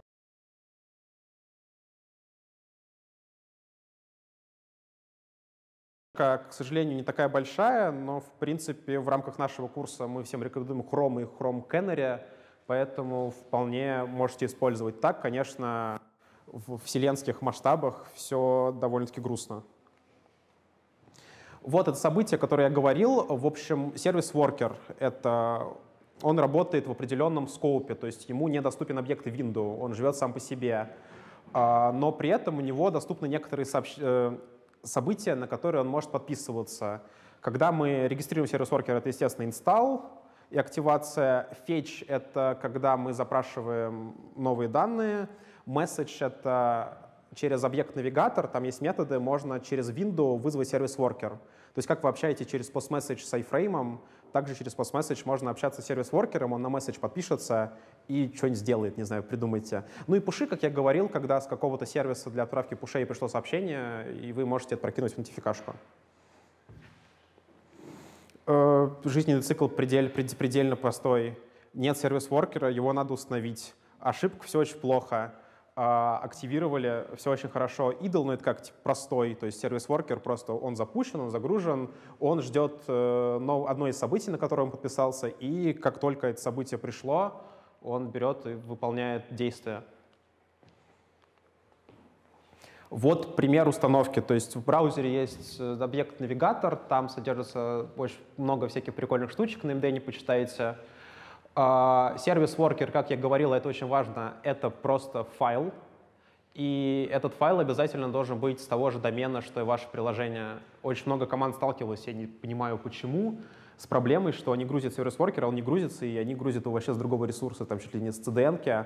CDN — это, вот как Дима говорил, э, шардирование доменов, то есть статика грузится отдельно от э, главного приложения. Вот, сервис-воркер должен грузиться с э, того же домена. А Scope — это, в общем, сервис-воркер может взаимодействовать с файлами, которые находятся внутри его скопа. А, то есть к origin запроса добавляется какой-то путь. И у нас есть origin и слэш, и вот все, что после слэша будет отдаваться, все статические файлы, их можно закэшировать. Если здесь будет slash assets, то можно закэшировать только то, что находится в slash assets и глубже. Смысл в том, что вот мне помог Александр, на две точки назад вы не можете вернуться. То есть объявить сервис-воркер и скоп в какой-то папке и залезть в соседнюю. Так у вас не получится сделать, только в, в текущую и глубже. Э, ну, естественно, тут все работает на промисах. В принципе, все довольно-таки просто. Зарегистрировали, если успешно, то ну, какую-то логику здесь просто логируем, что успешно. Если не успешно, то логируем ошибку. Uh, не знаю, картинка с MDN, не знаю, что вот тут справа видно как раз про скоп, то, что вот у нас есть воркер, и можно работать только над тем, что на одном уровне с воркером или поглубже. А, и обязательное условие э, по HTTPS. То есть два мода — это localhost, там 127.0.1, там можно без HTTPS работать. Если где-то на каком-то домене, то только через HTTPS. Вот, опять же, очень важно до вас донести, что это просто файл. И когда он установится, мы подписываемся на событие install, а self, э, ну, можно self писать, можно sys, он указывает, э, это же отдельный скоп, то есть тут sys указывает именно на сервис-воркер. И можно через него подписываться на все события и, в принципе, ну, выполнять какую-то логику. А, тут изображен пример кэширования а Caches — это объект над кэш-стором в браузере, который глобально доступен. Вот, у него есть разные методы, там типа open, match — это поиск соответствий файлов, типа есть файл в кэше или нет в кэше. Вот здесь мы открываем э, нов, ну, кэш по новому ключику и с помощью метода addall добавляем туда массив элементов, в данном случае один элемент и HTML-ку. Вот, в принципе, то, что мы вас ждем, это примерно то же самое. Мы ждем от вас, чтобы вы при установке сервис-воркера взяли и при успехе закэшировали всю свою статику, которую только можете. Там картинки, стили и самые главные скрипты.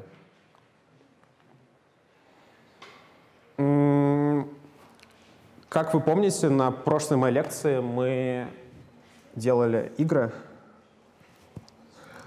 Вот. Как очень круто написал Митя в отзывах о предзащите, кто-то вас научил вставлять пасхалки в презентацию, но типа игры нет. Вот, видимо, лекция была именно про это.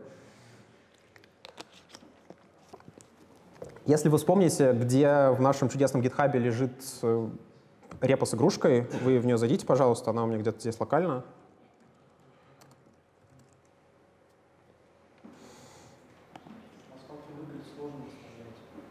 Чего? Пасхалки в игре сложно вставлять. Ну, презентацию зато просто. Зато это было эффектно. Ну, там суть была в том, что вроде вам типа зачитали лекции про игры, а в итоге, ну, игры да, но у каждого была какая-то пасхалочка обязательно. Это вот, типа, вы, это вы уловили, это было круто. А суть. Мы в нашем проекте в папке со статикой, вам, если не видно, надо приблизить, вы говорите, потому что мне видно. Объявляем файл с сервис-воркером, в котором описываем какую-то логику. К этому мы вернемся чуть попозже. И в точке входа нашего приложения мы должны этот сервис-воркер зарегистрировать. А, как я говорил, навигатор — это объект глобальный, который доступен. И проверить, есть ли у него свойства, можно с помощью там, навигатор точка сервис-воркер или вот оператора in, например. Проверяем, доступно ли в нашем браузере сервис-воркер. Вообще это очень классный метод проверки, есть ли фича. Вот, в принципе, возьми, возьмите на заметку. И если сервис-воркер есть, мы берем и вызываем у него метод регистр, и внутрь передаем файл, в котором содержится логика этого воркера. Ну а дальше все это promise. Если выполнилось, то логика при выполнении, если ошибка, логика обработки ошибки. Что здесь реализовано? Cache name — это для cache store а, чтобы мы понимали, какая версия кэша и вообще, ну, по какому ключу мы кэшируем. И массив урлов, то есть это все файлы или просто урлы, по которым могут лежать какие-то интересные файлы. Вот. Там, помните, мы разговаривали с вами, что есть всякие там стратегии, игровые сцены и прочие прекрасные, замечательные вещи. Вот, в принципе, все, что есть. Э, то есть здесь это версия проекта, когда у нас мы еще не знаем там про импорты, про веб-паки, про сборщики. У нас все файлы лежат отдельно, мы загружаем их все вместе, и поэтому, вот видите, их очень много, и их очень удобно взять и закэшировать. То есть все, что мы считаем, что статика, и можно спокойно лежать в кэше, мы берем и кэшируем. А, еще раз, Сервис Worker, отдельный скоп this указывает на сам сервис Worker, подписываемся на событие install, а, придет какой-то event, wait until, это говорит о том, что event, как бы, ну подожди, подожди, пока вот эта вся штука выполнится. То есть мы продлеваем его время жизни.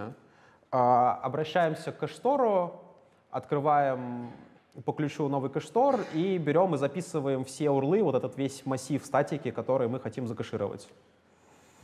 Ну а дальше все просто. На fetch — это когда мы берем и хотим потянуть новые данные сервера, делаем запрос. Мы э, говорим service worker у, что если кэш матчит то, что мы запросили, тогда, пожалуйста, отдай из кэша. Если не смачилось, то верни fetch. Ну, фетч — это как бы метод, дальше прокидывается fetch уже на сервер и подгружаются какие-то актуальные данные. Вот, в принципе, все. Уникальность этой технологии в том, что она звучит как какая-то космическая, а по сути там пара ивентов, пара новых глобальных объектов, с которыми вы столкнулись, и все. Как-то типа, сел и поехал. Сейчас покажу, как это работает и ради чего мы все это делали.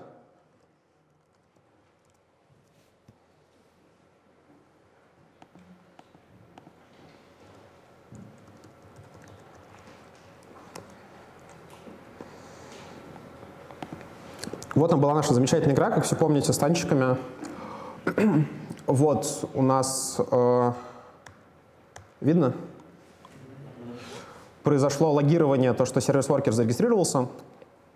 Это пока все, что нас интересует. И так как мы взяли, закэшировали и теперь перехватываем фетч события, то есть события запроса за данными у сервера, э, давайте симулируем то, что у нас нет сети. А, Chrome DevTools, а, Network Offline.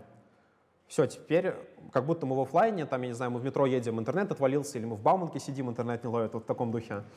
А, и давайте посмотрим, что произойдет с приложением, если мы попробуем его загрузить, будучи полностью офлайн.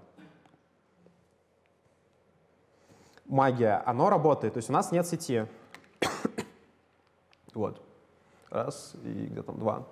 Но при этом все файлы, которые нужны, все вот вьюшки, там, стратегии, вся статика, она взяла и прогрузилась.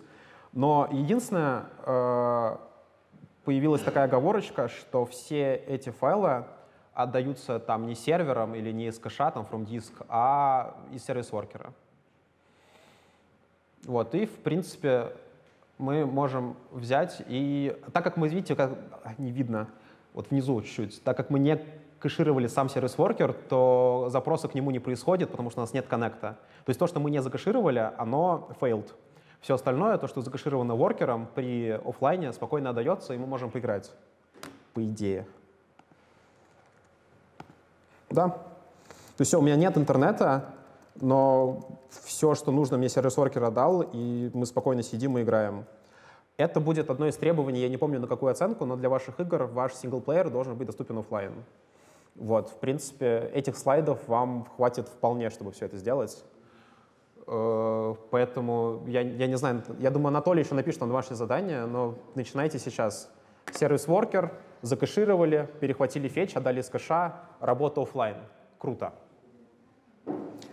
А забегая немножечко вперед, а, сервис-воркеры ведут такой штуки, как PWA, это Progressive Web Application, Некоторые говорят, что они мертвы, некоторые говорят, что ПВАшки должны убить нативные приложения. Под нативными я понимаю приложения, написанные на платформу мобильную с помощью технологий.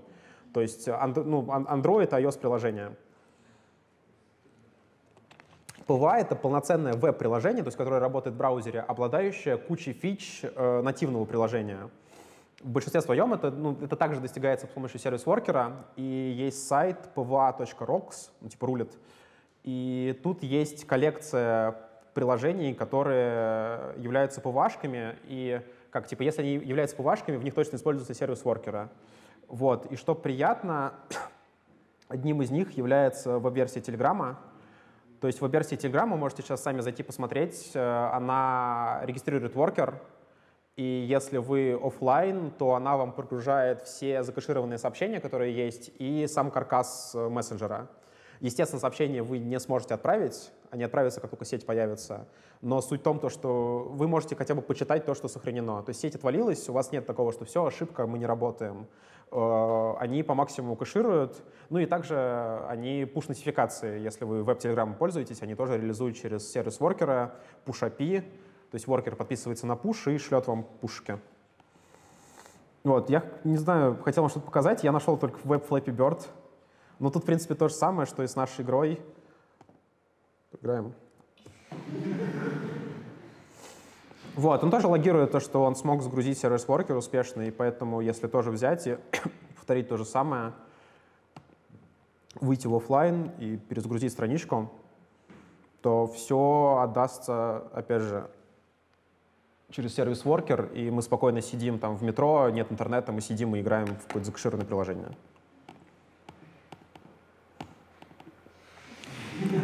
Вот, в общем, подробнее на MDN, применение этой штуки, этой штуки куча. И еще раз обязательно посмотрите видос. Вам будет... Ну, короче, он крутой, веселый, прям... Во. Что? Видео... Ну вот с чего я начинал.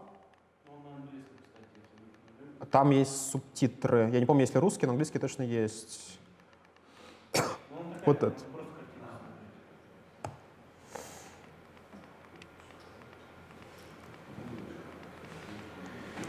А, да, пока по фишкам в браузере все, дальше пойдем уже к протоколам, поэтому есть ли вопросы по сервис-воркеру? Да. Мы зафишировали все, и все, мы довольны, и дальше Да, он крутится, он работает даже когда браузер не, не открыт. А, сейчас покажу. Ну, единственное, тебе нужно прописать логику, чтобы при, ну, чтобы у тебя не было, что файлы обновились, а кэш сервис воркеры старый, чтобы он ну, не отдавал старые файлы намеренно. Сейчас. Сейчас, секунду, покажу.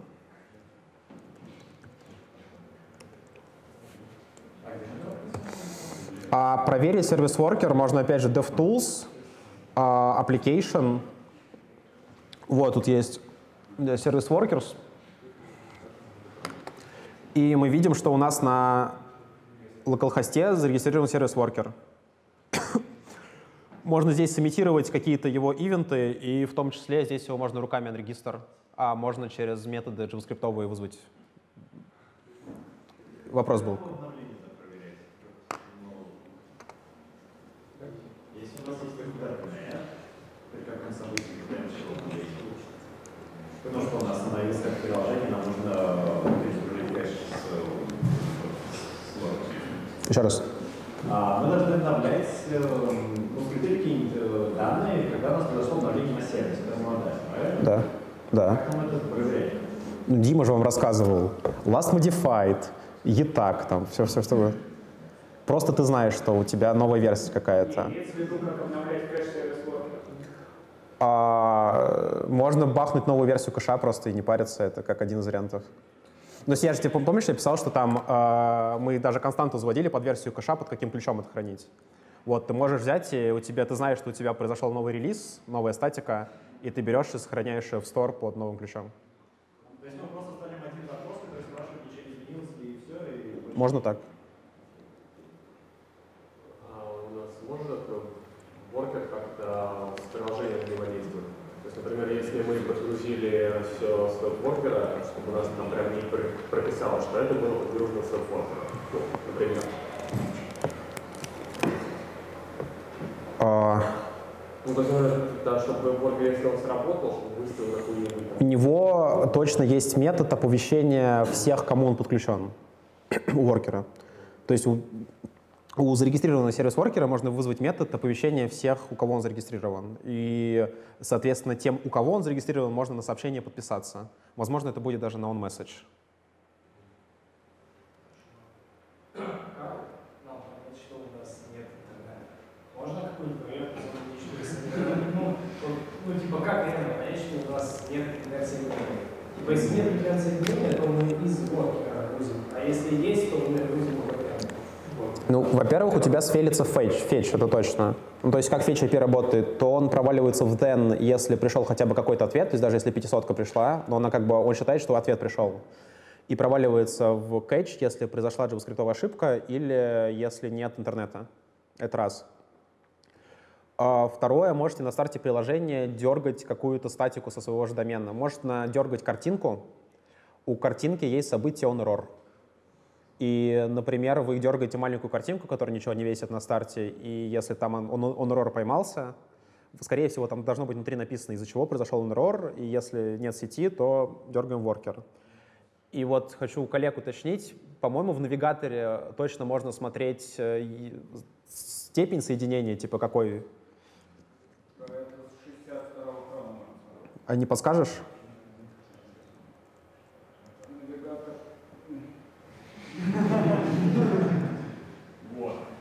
Во, отлично. А. В смысле? Ну не будет у нас тестироваться приложение на старом? Нет. Ну, мы, по-моему, говорили, что Canary рекомендуем. Э, На случай уточню. Что нормальной практикой является, если есть интернет, мы лезем в сети. Если нет, мы достаем из кэша. Да. Или мы всегда должны отдавать кэша. М, Но это если хотите для того, чтобы мои выпады была либо которая на бэке, либо бэке. Ну, в зависимости от того, что тебе надо. Ну, смотри, э, вообще лучше отдавать, конечно, из кэша, потому что это быстро. Но при этом ты должен быть уверен, что у тебя нет новых данных. Сервис-воркер может в фиче, в бэкграунде фетчить данные сервера новые. То есть ты можешь делать отдельный конец, который дергает, ну, API, который дергает сервис-воркер и узнает и получает новую статику. Ну, примерно, ну, ты, ты Никита, понял, что это прослойка между браузером и сервером? Она работает в бэкграунде, в своем потоке.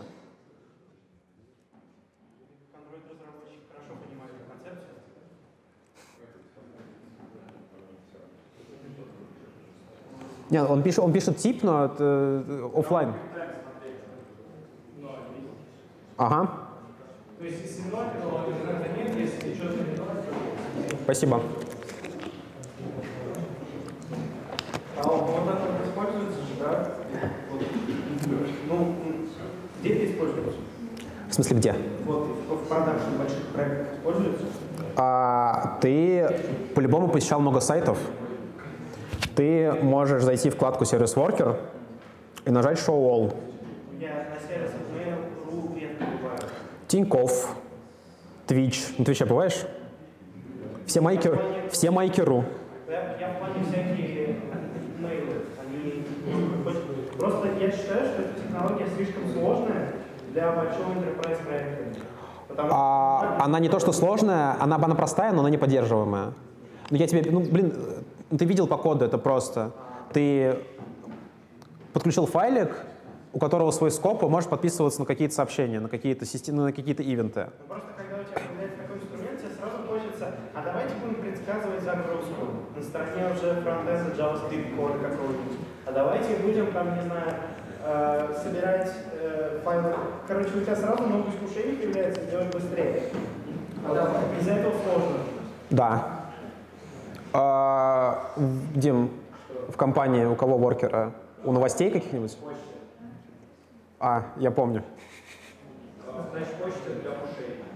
Мгм.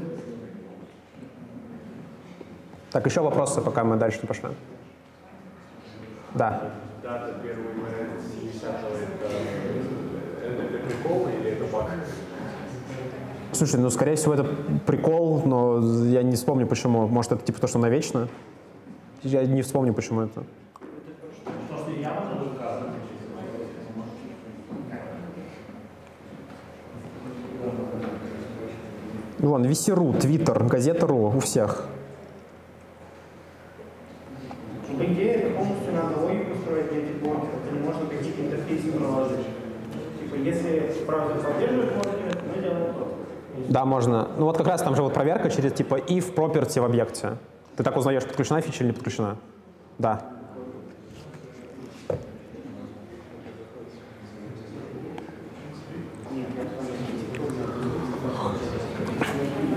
А Safari принципиально отказались от воркера? Они как комментировали позицию?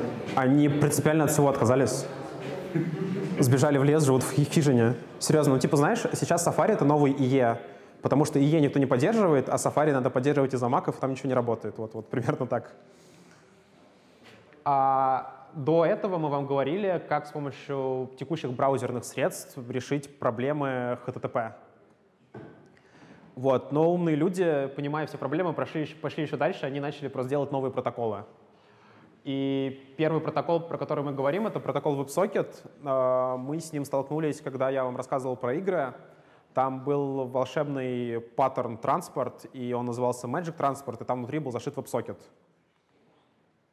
В общем, WebSocket — это протокол, настройка на TCP/IP, а, который позволяет э, сделать коннект с сервером и просто как канал проложить и обмениваться сообщениями, пока этот коннект длится.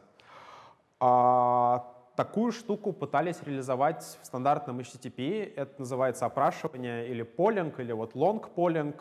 В HTTP это работало так. Мы делаем запрос на сервер, и держим его пока, на очень долгое время, пока ответ не придет. Как только пришел ответ, ну, мы считаем, что ответ — это какая-то вот у нас событийная модель, что ответ — это какое-то событие от сервера. Как только ответ от сервера пришел, мы тут же кидаем второй запрос и опять держим соединение. И якобы у нас получается, что мы постоянно держим соединение с сервером, и он, э, как только у него произошел какой-то ивент, может нам о нем сообщить. Но проблема в том, что э, мы постоянно данные кидаем. То есть мы делаем постоянно новый запрос.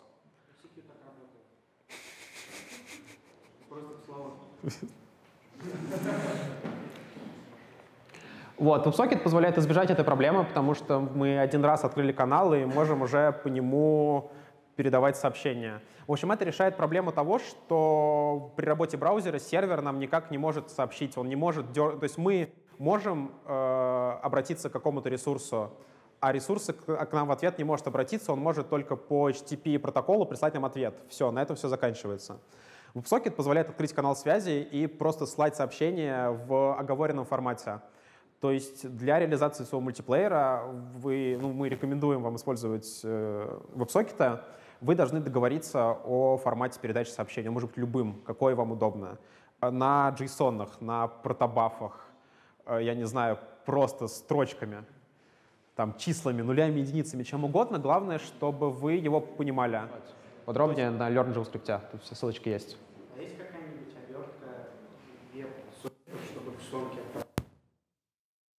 Ты можешь самой написать. Ну, в смысле, ты можешь э, на onSend всегда, ну, когда шлешь сообщение, всегда вызывать функцию, которая вернет тебе сообщение с JSON. То есть ну, ты можешь декоратор написать на эту функцию, на функцию отправки, понимаешь? Э, общений, вот, библиотек, которые позволяют э, делать обертку над сокетами, над сообщениями, их полно. Я не знаю, мне приходит только Socket.io, потрясающая библиотека. Вот, в принципе, я не знаю, окей, Google и ищите библы. Вот, у это потрясающая поддержка, прям очень крутая. Это не браузер, можете забыть. Вот, в целом все довольно-таки хорошо. А, Мы очень на этой лекции полюбили слово overhead, я не знаю, использовался ли оно раньше, но из-за того, что мы не кидаем каждый раз заголовки, короче, не делаем лишние запросы, у нас маленький overhead, мы не гоняем, то есть какие-то данных, которые гонять не нужно. Вот, и из всего делаем выводы, что WebSocket используется для реал-тайм игр, для чатов и для, в общем, для системы сообщений какой-то.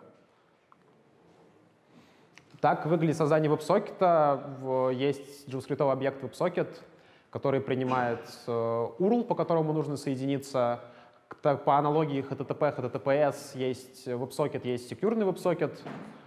А, И этот объект при создании может подписаться на сообщение. Открылся, закрылся, сообщение ошибка. А, При открытии соединения нужно подождать, то есть оно доступно не сразу. Там, а,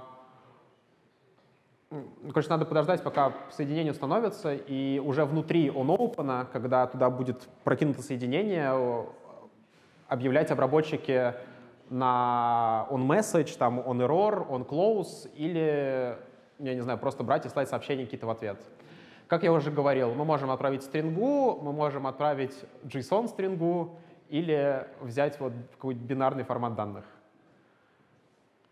Вот, в принципе, я не знаю, вы, наверное, можете только столкнуться с ограничениями э, на а, отправку данных там в Nginx или в каком-то другом балансировщике, но это все настраивается. То есть, в принципе, так он такой относительно резиновый. Вот, все. На onError, на onClose просто подписываемся на какое-то событие, и при onClose будут приходить коды веб-сокета, означающие, какая ошибка произошла. Я не знаю, для логирования, для статистики, сами придумайте, для чего их можно использовать.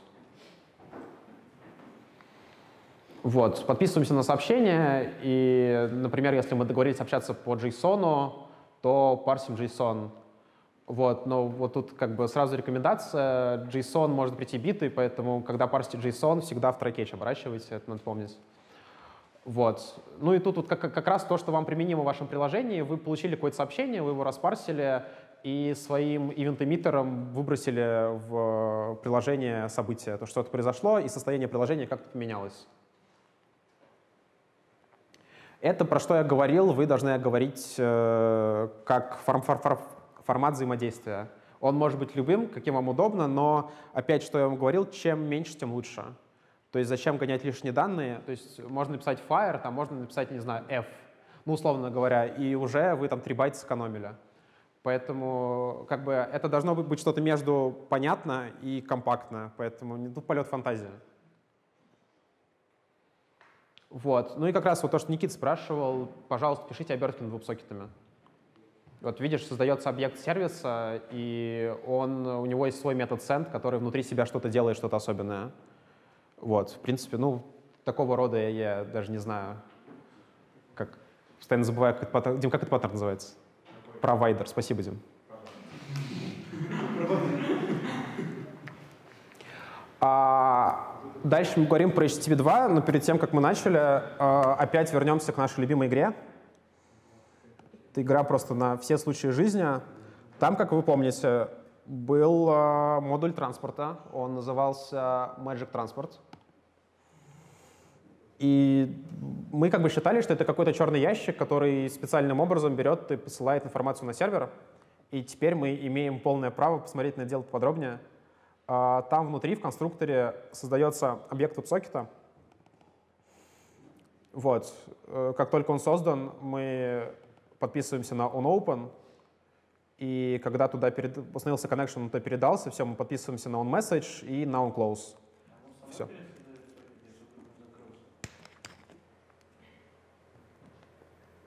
Нет. Это теку... текущее соединение. Ну, он пересоздает, если вдруг закрылся? А, По-моему, нет.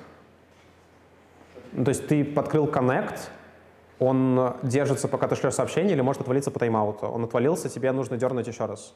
Я должен еще строго там 50 написать на, на об- обработчики всякие закрытия, открытия. Там, ошибки. Добро пожаловать в мир программирования. Ну, типа там надо все.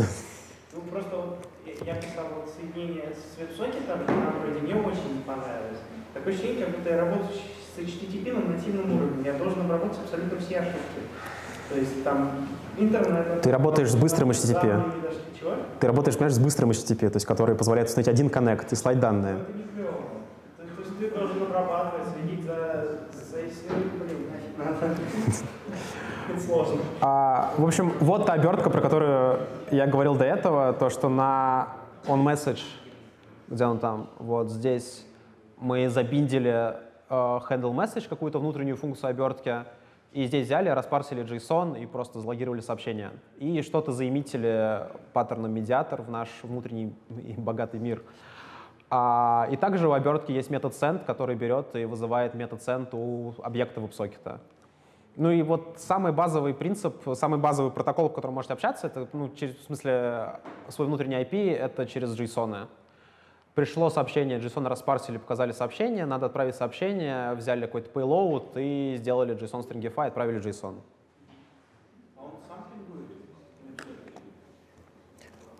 А? А, Я точно не... Там можно реализовать пинг-понг, мы здесь пингуем мы. Нет, просто я слышал, что для того, чтобы веб-сокет держался, нужно- Надо пинговать периодически, да. он, он пингуется. Нет, по-моему, нет. Ну вот, смотри, это же дело... Вот твой пинг. То есть я каждый сам должен... А, сейчас я вижу. Set интервал, да? А почему это не сделали по умолчанию? В JavaScript уже сказали, все готово. А, Я думаю, ты можешь скачать NPM-пакет, в котором это реализовано. Ну, типа того. Ну, смотри, в JavaScript ничего не готово, все готово на NPM. Ты неправильно мыслишь.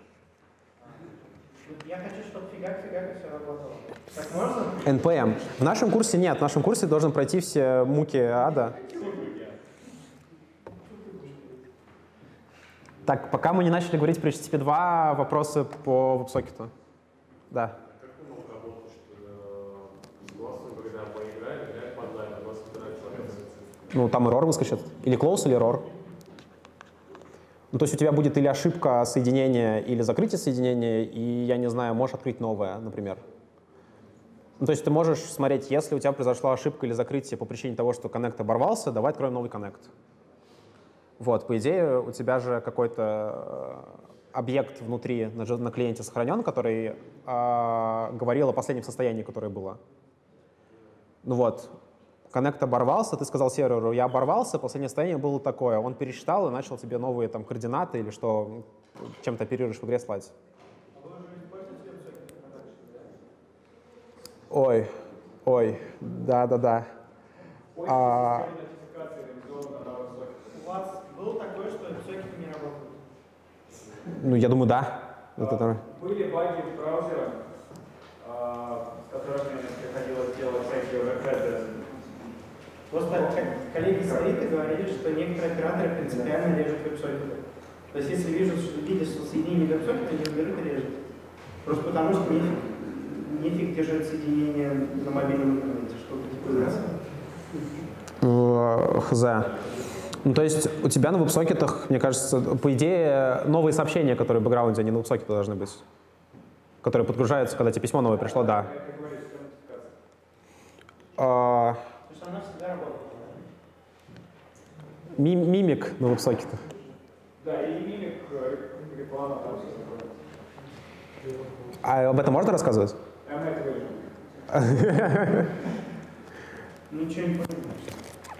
Забудь, этого не было. Чик. Еще вопросы про веб-сокет? Окей.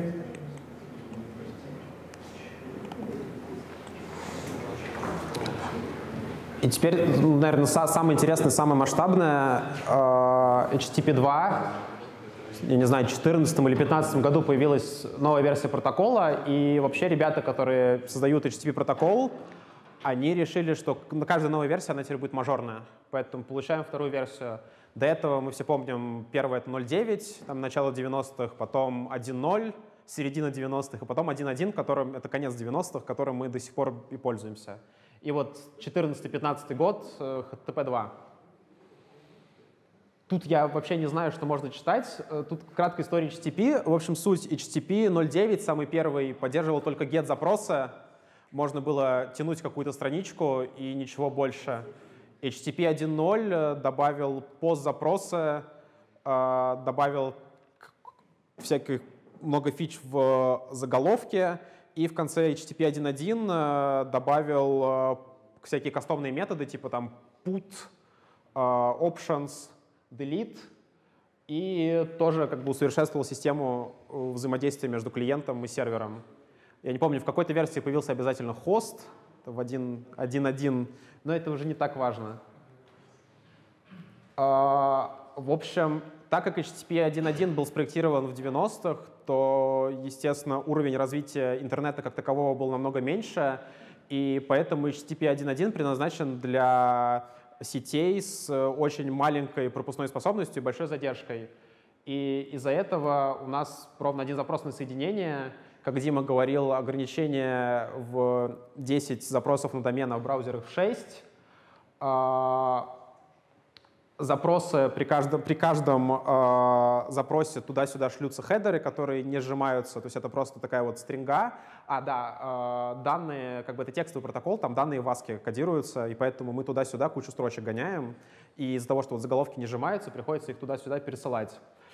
А, и HTTP работает медленно, и HTTPS работает еще медленнее из-за процедуры подтверждения сертификата.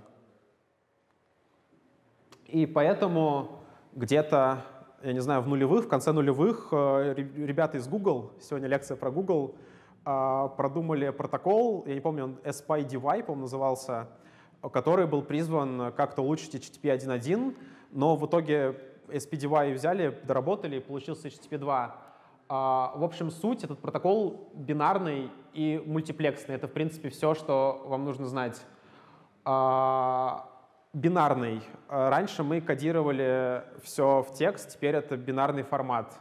Мультиплекс. Раньше у нас на одно соединение был запрос-ответ, теперь мы устанавливаем одно TCP-соединение, и как в WebSocket буквально устанавливаем канал связи между клиентом и сервером, и можем по этому HTTP, одному TCP-соединению параллельно грузить сколько статики, сколько нам влезет. А, что еще есть? В HTTP 2 есть э, форсированная и приоритетная загрузка. Приоритетная — это в заголовке запроса мы можем указывать приоритет для каждого файла. И уже сервер, который файлы присылает, э, делает больше приоритет с файлом с большим приоритетом. Система веса. Все очень просто. И а форсированная загрузка — это так называемый сервер push. А мы можем делать предположение, что, например, когда мы ходим за HTML, мы вместе с ней подтянем какие-то нужные стили и нужные скрипты. И поэтому с помощью сервер пуша на один запрос на HTML можно сразу отдавать всю пачку статики, которую вы предполагаете клиент в дальнейшем запросит. То есть как это работало раньше в HTTP 1.1?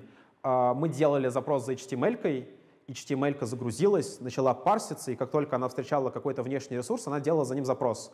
И из-за этого у нас водопад э, в браузере. Сейчас мы можем э, выставить сервер push и сказать, что вот, мы сходили за HTML, и по-любому он придет вот за этими скриптами, за этими стилями, и вернется сразу вся пачка. И у нас вообще все очень хорошо. Но на самом деле сервер push — это такая довольно-таки спорная и скользкая тема, и поэтому у него есть как хорошие стороны, как и плохие. Вот, мы вас не просим его использовать, и вообще, если интересно, почитайте. И важна вот эта строчка. Если HTTP 2 не работает в вашем браузере, у него нет поддержки, он э, сваливается на HTTP 1.1. Есть такой термин, как fallback. Это как бы набор процедур, которые применяются, если основная технология не сработала. Вот, э, HTTP 1.1, э, full-batch, HTTP 2 full на 1.1, но только поверх HTTPS. А, тут представлен как бы список э, да, приложений, для, которые могут поднять вам HTTP-сервер, и с каких версий можно включить HTTP 2. Вот в Nginx это делается очень просто, вы пишете HTTP 2, и у вас как бы все, коннект идет HTTP 2. Вот, поддержка как бы с каждым годом довольно-таки хорошая, вот, и в Edge круто, ну, про, эти, про этих ребят мы не говорим, и в мобильных браузерах все довольно-таки хорошо. И, в принципе, там, я не помню, может, мне парни подскажут, процентов 60 или сколько они говорят используют? 83. Нет, я в плане сейчас используют HTTP 2 как основной протокол.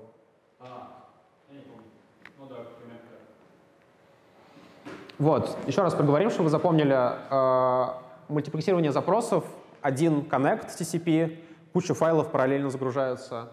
Э, бинарный формат — это понятно, приоритизация — это вы поняли, в хедере пишем вес э, файла, и чем больше приоритет, тем быстрее, по идее, он вам отдастся. Э, управление загрузкой — это, например, мы с помощью HTTP 2 можем сказать, что нам хватит, типа больше не наливай. То есть э, мы можем послать, э, мы можем дать серверу знать, что мы не готовы физически больше принимать какие-то файлы. То есть если мы крутим какой-то большой набор файлов, то мы можем послать ему, и дальше перейду к терминологии, можем послать ему фрейм о том, что нам хватит, мы больше не можем. А, сжимание заголовков, запросов и ответов. Я точно не помню термин, он будет дальше. А, в общем, во-первых, из одного TCP-соединения мы шлем заголовки только один раз, и если мы запрашиваем какой-то новый файл в рамках этого соединения, и там отличаются заголовки, но немного, мы шлем не копипастный диалог, э, заголовок с изменениями, а только div. И это позволяет э, снизить оверхед и слать очень мало данных. Про сервер push я сказал, запросили файл, предполагаем, что с ним запросится еще много файлов и отдаем все сразу. Я не знаю, что тут еще может а, Про термины.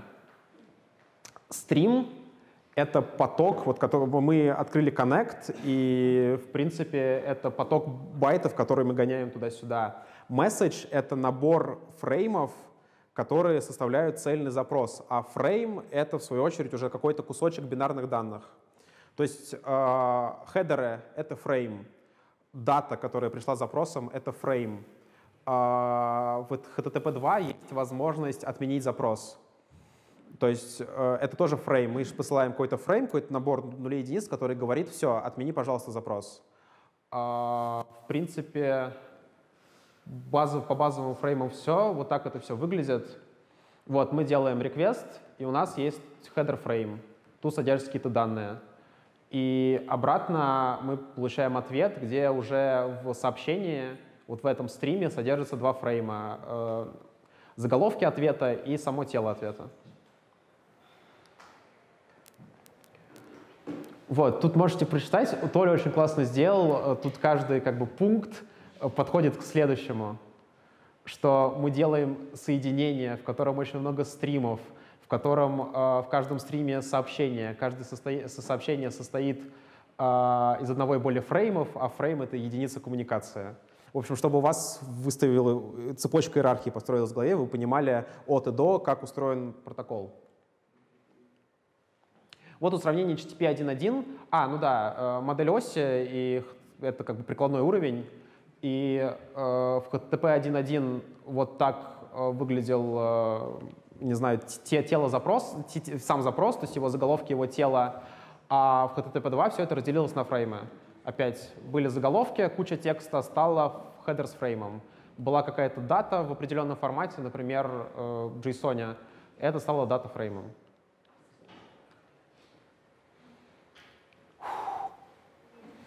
Структура фрейма, я вот не знаю, что можно тут рассказать. Я думаю, легче почитать документацию. Ну, тут типа в скольки битах кодируется длина, в скольки битах кодируется тип, где флаги кодируются и где сам payload находится. Ну вот про мультиплексирование, что я вам говорил. Сервер может послать клиенту куча наборов э, header, какая-то data, data, data, заголовок изменилась, послал diff header а, еще кучу данных, данных, данных, что-то еще изменилось, опять header. Решил прервать соединение, послал фрейм, что соединение должно быть разорвано. И это позволяет нам уйти от waterfall. То есть тут видно, что из-за того, что 6 запросов одновременно, э, вот эта серая часть — это сколько э, браузер ждет, пока он не сможет загрузить файл. Зеленая — это активная часть загрузки, серая — это часть ожидания, пока э, освободится коннект. Здесь же мы видим, что вот практически прямая линия, и все это загружается одновременно. Это по приоритизацию, что строится бинарная структура, и выбира... ну, короче, происходит сортировка, и мы выбираем э, стрим с наибольшим приоритетом.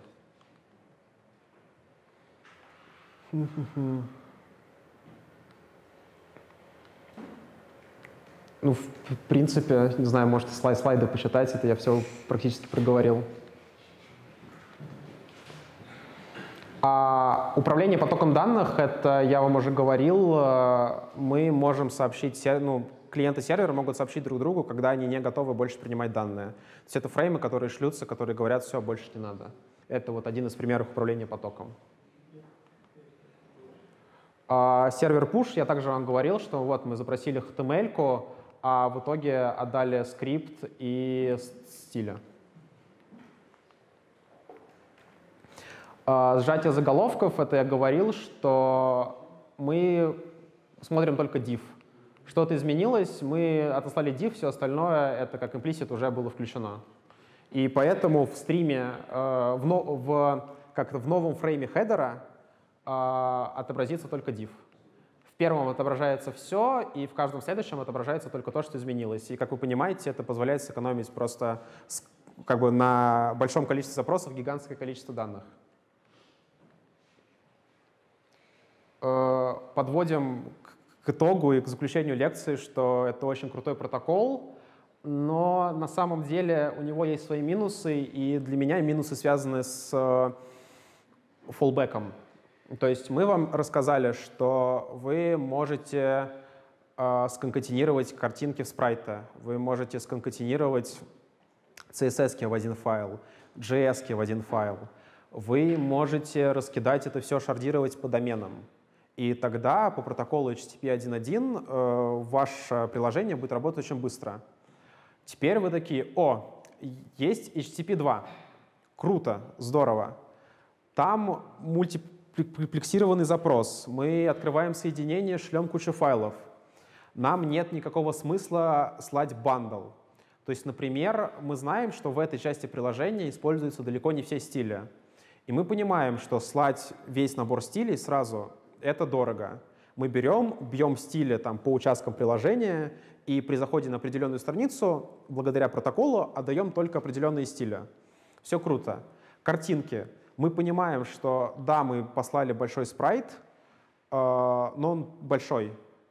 И как бы слать его — это дорого по данным. А мы знаем, что у нас HTTP 2, и мы знаем, что пользователю нужна маленькая картинка. По HTTP 2 нам легче послать ему маленькую картинку. Ему нужно три картинки, мы три картинки ему маленькие параллельно послали. И каждая картинка весит очень мало. То есть мы полагаемся на то, что да, когда мы шлем спрайты или какие-то объединенные файлы, мы делаем это запасом. Но этот запас не всегда работает, и получается, что мы очень много трафика впустую потратили, это не используется. HTTP 2 позволяет избежать эту проблему. А, но если HTTP2 вдруг не, не сработало, мы, ну, не поддерживается, мы сфолбэчились на HTTP 1.1, мы получили гигантский waterfall и дикие тормоза. А, с каждым годом эта проблема все меньше, потому что люди переходят на новые браузеры, где поддержка этого протокола, и, в принципе, про HTTP1 уже постепенно забывают. Но так как есть fallback, то есть не нулевая, далеко не нулевая вероятность того, что мы оптимизировались под HTTP2, сфолбэчились на HTTP 1.1, и все, и пользователь сидит и тупит в белый экран, потому что все грузится. Вот, поэтому, я не знаю, тут два варианта. Или искать золотую середину, или плевать на тех, кто фулбэчится и радикально идти вперед. Но это уже как бы зависит от масштаба вашего продукта. А, я обязательно приложу потом ссылку, поправлю на доклад. Э, а, вот, все, вот он есть. Обязательно почитайте предпоследний доклад. По идее, может, это даже видос. Есть э, ресурс в интернете, называется Smash Magazine. Э, один, как бы, я не знаю, из учредителей этого ресурса, это Виталий Фридман, это очень крутой чувак. Он э, занимается улучшениями UI, производительности, не знаю, user experience как такового, и все это отображает в своем бложике, но там также пишут и другие фронтенд-специалисты. А, в общем, они не так давно, я слушал этот доклад живую в Минске с Анатолием, и тогда они только выкатывали обновление, то есть обновление это 2017 года. И э, там рассказано все, то есть они разбили CSS как только можно. Они не только отдельно по структуре приложения, они для каждой страницы получали CSS отдельно, отдельно CSS для header а, отдельно для тела, отдельно для footer а. И они загружали CSS отдельно для разных media query. Когда вы загружаете CSS, вы пишете там link, rel равно и путь на CSS, и там внутри можно указать media query при выполнении. Если она смачится, то файл загрузится, если не смачится, то нет. Они разбили по медиа и по всему. И, в общем, он рассказывал, как это круто, как они у них там объем пушей на гитхабе, при этом как это хреново работает, если ты Поэтому э, все, конечно, почитайте, это все, я думаю, очень полезно и интересно, но два must-have. Первый — это доклад про сервис и второй — это доклад Фридмана про улучшение сайта. В общем, Никита, это реальный пример того, как технологии, про которые мы сегодня говорили, используются в интерпрайзном большом продукте. Вот, вот эта штука. Почта на HTTP2. Сейчас. Вот так вот. А у нас нет возможности отдельно собрать статику под э, и под два, как-то вот определять есть, коллеги? Как, можно ли как-то определить? Ну, сам, ну, переключать логику и в зависимости от того, у меня HTTP 1.1 или HTTP 2.2? Ну, H2.0.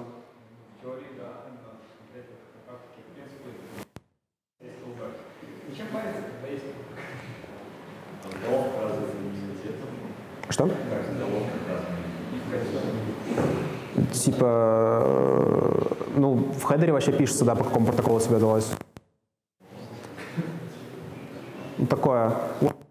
Всегда в теории можно, но вопрос, надо посмотреть, использовал ли кто-то на практике. По-моему, не первый, кто с этим вопросом. Да. Так, так не отвечу. Вот, но по идее, я не знаю, мне кажется, правильная позиция сказать, что ты молодой, дерзкий, и что ты используешь HTTP2, а все остальные, ну, пока. Вот, для ваших приложений это нормальный вариант. Мы как бы говорим, последний Chrome, последние технологии, пожалуйста. Кто-то не может, ну не может.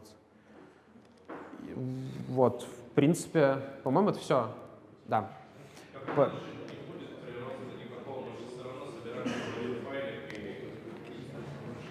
на самом деле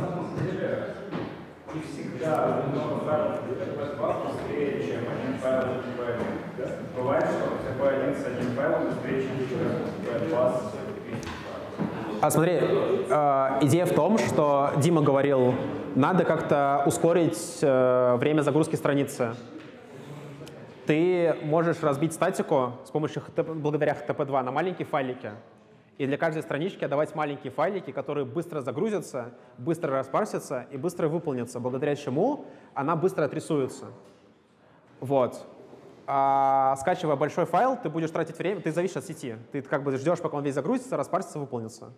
А тут ты э, разбиваешь приложение. Я говорю, вот доклад Фридмана — это как раз про эту тему. А, спасибо вам за отзывы по лекции по играм. Я говорил, если их будет много, то, возможно, я еще вам что-то почитаю. И вот я здесь. Их пока там больше всего, их целых три. Вот, поэтому, пожалуйста, после этой лекции оставьте нам еще с Димой отзывы. Фидбэк — это всегда полезно.